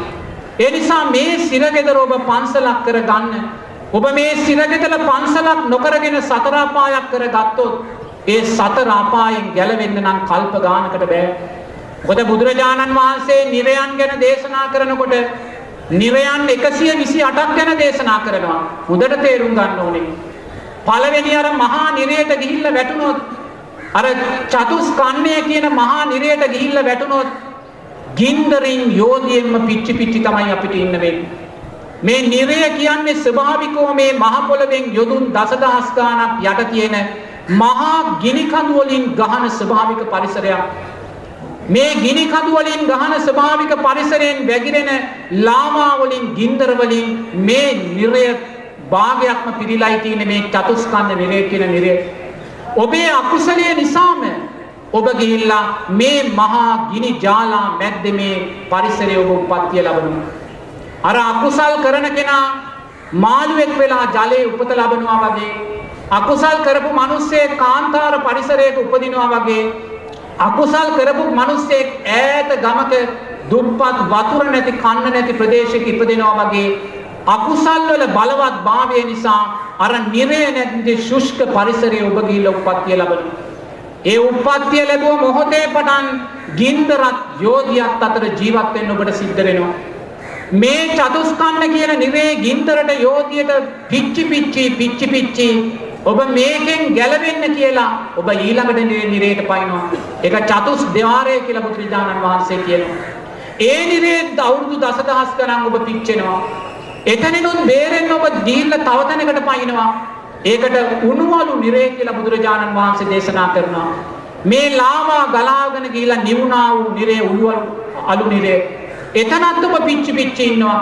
මේ වගේ පිංගතුණී නිරයට වැටුණ කෙනා പ്രേත ලෝකෙට වැටුණ කෙනා ද්වේෂයෙන්ම වඩන නිසා ඒ ද්වේෂය නිසා නැවත නැවත නැවත අකුසල් කරමින් කවදා හරි දවසක නිරයට වැටුණොත් මේ නිරයන් 128ටම වැටිලයි අපි කවදා හරි ගොඩ වෙන්නේ. ඔබත් මමත් මේ නිරයන් 128ට වැටිලා අතීතේ කල්ප ගණන් මේ නිරා දුක අපි අත්විඳලා තියෙනවා. මේක අපිට නුපුරුදු දෙයක් නෙමේ. ඔබ හිතන්න මේ බන්ධනාගාර ගත වෙලා තියෙන අවුරුදු 5 ඔබට මෙච්චර දුකක් නම් මේ අවුරුදු 10 මෙච්චර දුකක් නම් යම් හේකින් අපි නිරයට වැටුනොත් දෙයි හාමුදුරුවනේ කල්ප ගානක විදින දුක දකින්න. එදාට ඔබ වතුරයි කියලා බොන්න වෙන්නේ යෝධිය මොකද නිරේ වතුර නැහැ. ස්වභාවික ගිනි කඳු යායක්. ඒ ගිනි කඳු යායේ ගංගා තියෙනවා. ඒ ගංගාවල තියෙන ජලය නෙමේ ලාවා ගලාගෙන ඇවිල්ලා ගිනි වතුර තියෙන්නේ. ඔබ ගිනි රස්තේට පිච්චි පිච්චි ඔබ වතුර බොන්නේ නමුත් ඒ වතුර නෙමේ ගිනි වතුරයි යෝධියයි. එහෙනම් බලන්න මේ කටුක දුක අපි ජීවිතයට උරුම කරගන්නේ අනිත්‍ය වූ රූපයක් නිසා. අනිත්‍ය වූ වේදනාවක් නිසා. අනිත්‍ය වූ සංඥාවක් අනිත්‍ය වූ චේතනාවක් අනිත්‍ය වූ විඥානයක් නිසා. ඒ නිසා නිරේතුරුවම ඔබ ධර්මානුකූලව සකස් වෙන හිත විදර්ශනාවෙන් දකින්න දක්ෂ වෙන්න. දකිමින් නිරේතුරුවම ඔබ සුවපත් වේවා කියන චිත්තය ජීවිතය තුළින් ඇති කරගන්න කියලා මතක් කරනවා. හොඳයි සාදුකාරයක් දෙන්න. සාදු සාදු සාදු. මම කිව්වා මම කිව්වාට පස්සේ කියන්නේ මම කිව්වාට පස්සේ මම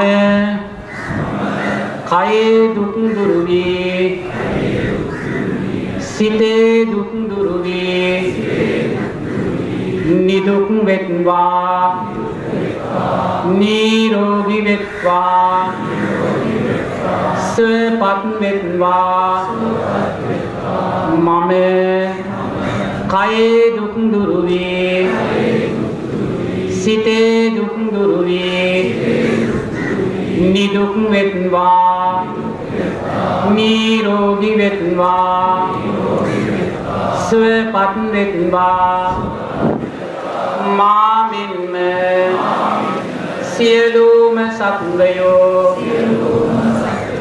සිතේ දුක් දුරු වේ කයේ දුක් දුරු වේ නිදුක් වෙත්වා නිරෝගී වෙත්වා සුවපත් වෙත්වා.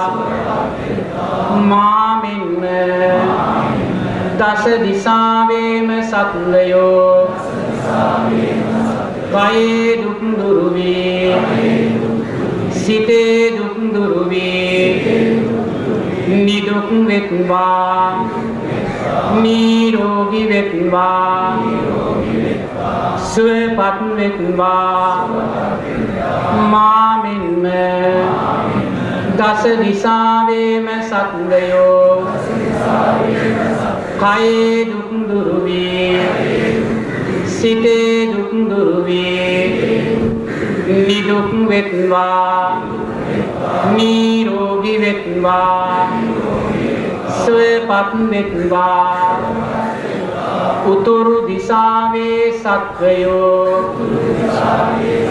කයේ දුක් දුරු වේ සිතේ දුක් දුරු වේ නිදුක් වෙත්වා නිරෝගී වෙත්වා සුවපත් වෙත්වා දකුණු දිසාවේ සත්වයෝ. කයේ දුක් දුරු වේ සිතේ දුක් දුරු වේ නිදුක් වෙත්වා නිරෝගී වෙත්වා සුවපත් වෙත්වා නැගෙනහිර දිසාවේ සත්වයෝ කයේ දුක් දුරු වේ සිතේ දුක් දුරු වේ නිදුක් වෙත්වා. නිරෝගී වෙත්වා. සුවපත් වෙත්වා. වටහිර දිසාවේ සත්වයෝ කයේ දුක් දුරු වේ සිතේ දුක් දුරු වේ නිදුක් වෙත්වා නිරෝගී වෙත්වා සුවපත් වෙත්වා. උතුරු අනුදිසාවේ සත්වයෝ කයේ දුක් දුරු වේ සිතේ දුක් දුරු වේ නිදුක් වෙත්වා නිරෝගී වෙත්වා. සුවපත් වෙත්වා දකුණු අනුදිසාවේ සත්වයෝ. කයේ දුක් දුරු වේ සිතේ දුක් දුරු වේ නිදුක් වෙත්වා. නිරෝගී වෙත්වා. සුවපත් වෙත්වා නැගෙනහිර අනුදිසාවේ සත්වයෝ. කයේ දුක් දුරු වේ සිතේ දුක් දුරු වේ නිදුක් වෙත්වා නිරෝගී වෙත්වා සුවපත් වෙත්වා. බටහිර අනුදිසාවේ සත්වයෝ කයේ දුක් දුරු වේ සිතේ දුක් දුරු වේ නිදුක් වෙත්වා. නිරෝගී වෙත්වා සුවපත් වෙත්වා. උඩු දිසාවේ සත්වයෝ කයේ දුක් දුරු වේ සිතේ දුක් දුරු වේ නිදුක් වෙත්වා. නිරෝගී වෙත්වා සුවපත් වෙත්වා. දස දිසාවේම සත්වයෝ කයේ දුක් දුරු වේ සිතේ දුක් දුරු වේ නිදුක් වෙත්වා. නිරෝගී වෙත්වා. සුවපත් වෙත්වා. ස්වාමීනි භාග්‍යවතුන් වහන්සේ ඔබ වහන්සේ අෂ්ට විද්‍යාවන් හා පසලොස් චරණ ධර්මයන් මනාකොට දත්හෙයින් විද්‍යාචරණ නම් වෙනසේක. සාමීනී භාග්‍යවතුන් වහන්සේ. ඔබ වහන්සේ. මනාගමන් නැතිහෙයින්ද නිවන් පුරයට පැමිණිහෙයින්ද සුගත නම් වෙනසේක ස්වාමීනී. භාග්‍යවතුන් වහන්සේ. ඔබ වහන්සේ. කාම ලෝක රූපී ලෝක අරූපී ලෝක. යන තුන් ලෝකයම දත්තින් ලෝකවිදු නම් වෙනසේක සාමීනි භාග්‍යවතුන් වහන්සේ ඔබ වහන්සේ. අකීකරු සත්වයන් මනාකොට දැමූහෙයින් අනුත්තරෝ පුරිස ධම්ම සාරති නම් වනසේක ස්වාමීනි. භාග්‍යවතුන් වහන්සේ ඔබ වහන්සේ දෙවියන් සහිත වූ තුන් ලෝකයාටම අර්ථයෙන් ධර්මයෙන් අනුශාසනා කරන ලදෙයින් සත්තාදේව මනුස්සානම් වනසේක. සාමීනි භාග්‍යවතුන් වහන්සේ ඔබ වහන්සේ ආමිස පූජා ප්‍රතිපත්ති පූජා සියල්ලටම සුදුසු වූහෙයින් භගවානම් වනසේක. සාමීනි භාග්‍යවතුන් වහන්සේ ඔබ වහන්සේ චතුරාර්ය සත්‍ය ධර්මයන් තමන් වහන්සේ විසින්ම අවබෝධ කොට ගත්තෙයින් සම්මා සම්බුද්ධ නම් වෙනසේක සම්මා සම්බුද්ධ නම් වෙනසේක සම්මා සම්බුද්ධ නම් වෙනසේක.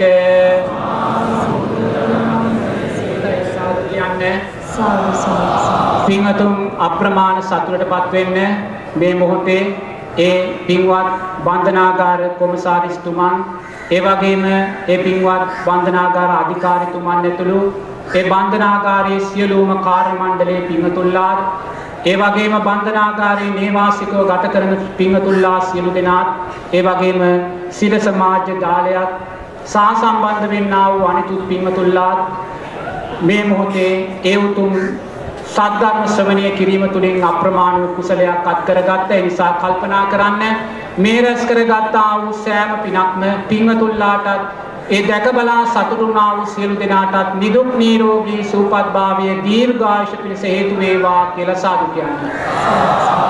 ඒ වගේම මේ රැස් කරගත්තා වූ සෑම පිනක්ම පින්වතුන්ලා නමින් මිය පරලව ගොස් පින් බලාපොරොත්තුව ජීවත් වෙන ඥාති පිරිස් වේ නම් මේ සියලු දෙනා මේ පින් දකිත්වා සතුටු වෙත්වා කියලා ඉදම් මේ ඥාති නංගෝතු ගාතාව කියලා මියගිය ඥාතීන්ට පින් අනුමෝදන් කරන්නේ. ඉදම්මේ ඥාතීනං හෝතු සුඛිතා හුන්තු ඥාතයෝ ඉදම්මේ ඥාතීනං හෝතු සුඛිතා හුන්තු ඉදම්මේ ඥාතීනං හෝතු සුඛිතා හුන්තු ඥාතයෝ. ඒ වගේම මේ රැස් කරගත්තා වූ සෑම පිනක්ම මහේශාක්‍ය අල්පේශාක්‍ය අප්‍රමාණ දිව්‍ය රාජ සමූහයක් මේ ගම්බිම් සුරකින්නා වූ දෙවියෝ මේ පින් දකිත්වා සතුටු වෙත්වා දෙවියෝ ප්‍රාර්ථනීය බෝධියකින් අමාමා නිවනෙන් සැනසෙත්වා දෙවියන්ගේ ආශිර්වාදයෙන් පින්වතුල්ලා නිදුක් නිරෝගී සුවපත් භාවයෙන් ආරක්ෂා කෙරෙත්වා කියලා දෙවියන්ටත් මේ පින අනුමෝදන් කරන්නේ තාවචා චම්මේහි කියලා. අම්මේහි සම්පදම් පුඤ්ඤ සම්පදං සබ්බේ දේවානුමෝදන්තු සබ්බ සම්පatti සිද්ධියා ඊතාවචාච අම්මේහි සම්පදම් පුඤ්ඤ සම්පදං සබ්බේ භූතානුමෝදන්තු සබ්බ සම්පatti ඊතාවචාච අම්මේහි සම්පදම් පුඤ්ඤ සම්පදං සබ්බේ සත්තා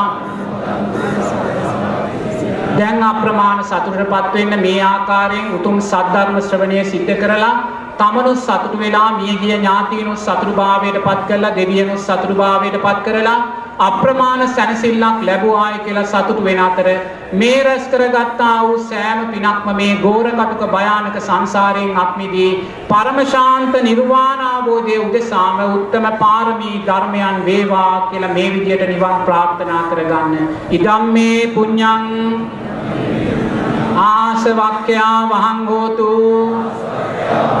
මේ පින නිවන් අවබෝධ වීම පිණිසම හේතු වේවා. ඉමිනා පුඤ්ඤ කම්මේන. මා මේ බාල සමාගමෝ. සතන් සමාගමෝ හෝතු. යාව නිබ්බාන පත්‍යා. මේ කුසලයෙන් නිවන් දකිනා තුරුම පස්පව් දසා කුසල් කරන බාලයන්ගේද අසත් පුරුෂයන්ගේද පාප මිත්‍රයන්ගේද ආශ්‍රය නොලබේවා. දානාදී පින්කම් කරන සීලාදී අනන්ත ගුණ පුරණ විදර්ශනාදී භාවනා වඩන සත්පුරුෂයන්ගේද කල්යාණ මිත්‍රයන්ගේද බුද්ධාදී ආර්ය මහෝත්තමයන්ගේද ආශ්‍රයම ලැබේවා. සබ්බීතියෝ විවජ්ජන්තු සබ්බ රෝගෝ විනස්සතු මාතේ පවත්වන්තරායෝ සුඛී දීඝායුකෝ භවේ අභිවාදන සීලිස්ස නිච්ඡං වෙච්ඡාපචායිනෝ චත්තාරෝ ධම්මා වඩ්ඩಂತಿ ආයුවන්නෝ සුඛං බලන්න ආයුරාෝග්‍ය සම්පatti සග්ග සම්පatti මේවච අතෝ නිබ්බාන සම්පatti ඉමිනාතේ සමිච්ඡතු. ඒ පින්වත් වන්දනාගාර කොමසාරිස්තුමන්ට ඒ වන්දනාගාර අධිකාරීතුමන්ට ඒ වගේම මේ සියලුම නේවාසික පින්වතුන්ලාටත් ඒ සිරස මාධ්‍ය ජාලයටත් මේ පින් නිදුක් නිරෝගී සුවපත් භාවය පිණිස හේතු වේවා. තෙරුවන් සරණයි.